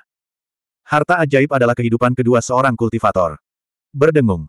Mereka telah terbang mengelilingi gurun siang dan malam, mencoba merasakan lingkungan sekitar mereka. Sudah lebih dari setengah tahun. Tiba-tiba, di kedalaman pegunungan berhutan, teknik penyusutan kehidupan rahasia surga benar-benar merasakan aura. Su Fang sangat terkejut. Dia pikir itu adalah inti emas iblis kuno, tapi dia kecewa. Itu adalah aura iblis yang mirip dengan aura iblis di tubuhnya. Akhirnya, dia menyadari bahwa kekuatan Raja Bamo menyatu ke dalam tubuhnya, dan itu beresonansi dengan teknik penyusutan kehidupan rahasia surgawi. Tampaknya aura iblis itu milik Raja Bamo. Itu tidak mungkin Raja Bamo, karena hanya ada sedikit aura iblis. Jika itu benar-benar Raja Bamo sendiri, maka resonansinya pasti sangat kuat. Setelah merasakannya beberapa saat, aura iblis itu bergerak maju. Ia bergerak sedikit lebih cepat daripada Su Fang, tapi tidak terlalu mengejutkan. Bagaimanapun, dia tanpa tujuan mencari sisa-sisa iblis inti emas iblis kuno. Dia mengikuti aura iblis dan terus merasakan segalanya dalam jarak beberapa puluh mil. Tidak lama kemudian, aura iblis juga terus terbang ke depan. Ketika Su Fang melihat ke dalam ngarai, dia menemukan bahwa itu adalah area berbahaya yang cukup terkenal di pesawat astral Huangze. Lembah Jiwa Terapung. Daerah berbahaya ini mirip dengan pegunungan bintang tujuh. Itu bukanlah area berbahaya terbesar di dunia astral Huangze, tapi masih tercatat di peta. Saat dia sedang melihat peta lembah jiwa terapung, Su Fang tiba-tiba merasakan ki iblis yang sangat kuat. Itu sangat familiar. Dia mendekatinya dan merasakannya. Kali ini, dia yakin bahwa orang yang ada di lembah jiwa terapung pastilah orang hebat dari Gunung Iblis Surgawi, penguasa Bamo. Aura iblis ini terlalu kuat dan mendominasi. Dia berada sangat jauh dari Floating Soul Valley, tapi dia bisa merasakannya dengan sangat kuat. Jelas sekali bahwa hanya Raja Bamo sendiri yang bisa mengeluarkan aura mengejutkan seperti itu. Napas Su Fang melambat. Pihak lainnya adalah Raja Bamo, dan dia bahkan telah menelan telapak tangan kiri Raja Bamo. Sarang Gunung Iblis tidak ada di sini. Dari catatan, Lembah jiwa terapung ini hanyalah sebuah area berbahaya yang runtuh yang terbentuk setelah bumi bergerak. Karena keruntuhan tersebut, banyak ruang di dalamnya berubah menjadi lembah. Selain itu, karena debu dan bintang kabut sepanjang tahun, tempat itu tidak melihat sinar matahari sepanjang tahun. Namun, ada peninggalan dan harta spiritual alam di dalamnya. Setelah memikirkannya, dia tidak berani memasuki lembah jiwa terapung. Dia hanya bisa melewati area luar.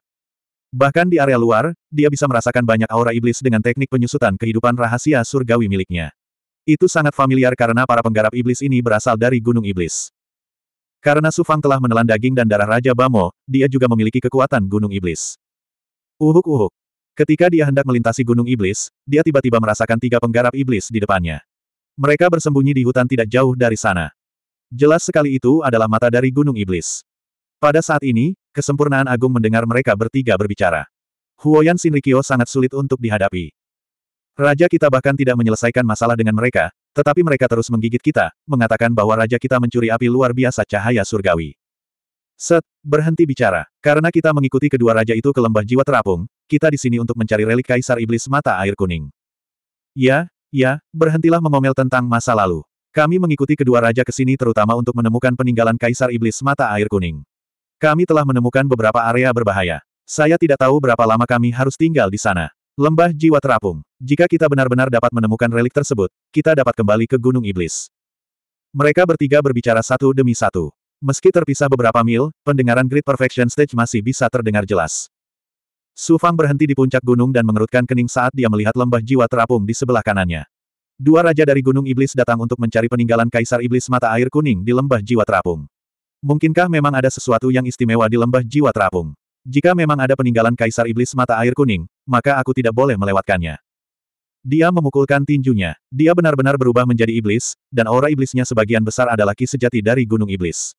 Dengan cara ini, jika auranya benar-benar dirasakan oleh tokoh dikdaya tiada taraf di lembah jiwa terapung, mereka hanya akan berpikir bahwa dia adalah murid Gunung Iblis. Kemudian, ia memasuki kabut bintang. Satu jam kemudian, dia memasuki lembah jiwa terapung. Ini juga merupakan pegunungan dan hutan, tetapi sebagian besar gunung telah runtuh dan terkubur bersama dengan hutan. Ada banyak reruntuhan kosong di dalamnya, yang berubah menjadi lembah. Dari lembah ini, kabut bintang akan menyapu dari waktu ke waktu. Udaranya hampir lembab, dan jika menutupi kulit akan sulit untuk dibersihkan. Itu juga akan menyumbat kulit dan mencegah tubuh fisik menyerap ruki. Ini adalah bagian tanah terlantar yang menakutkan. Hanya udara lembab saja sudah cukup untuk mencegah Dewa Gua masuk ke tempat ini. Hanya ahli surga abadi yang bisa melarutkan udara lembab ini. Su Fang melepaskan kemampuan penginderaannya dan merasakan aura iblis, aura iblis, dan aura beberapa kultivator saleh. Ini hanyalah pinggiran lembah jiwa terapung. Dia tidak tahu aura apa yang ada di dalamnya. Lembah jiwa terapung memiliki lebar setidaknya puluhan ribu mil. Selain lingkungan khusus, kemampuan penginderaan Su Fang hanya dapat merasakan aura dalam jarak beberapa mil. Ini adalah tempat berbahaya yang berisi banyak harta dan relik spiritual, jadi pasti ada banyak penggarap yang mencari harta karun di sini. Tujuannya adalah Gunung Iblis.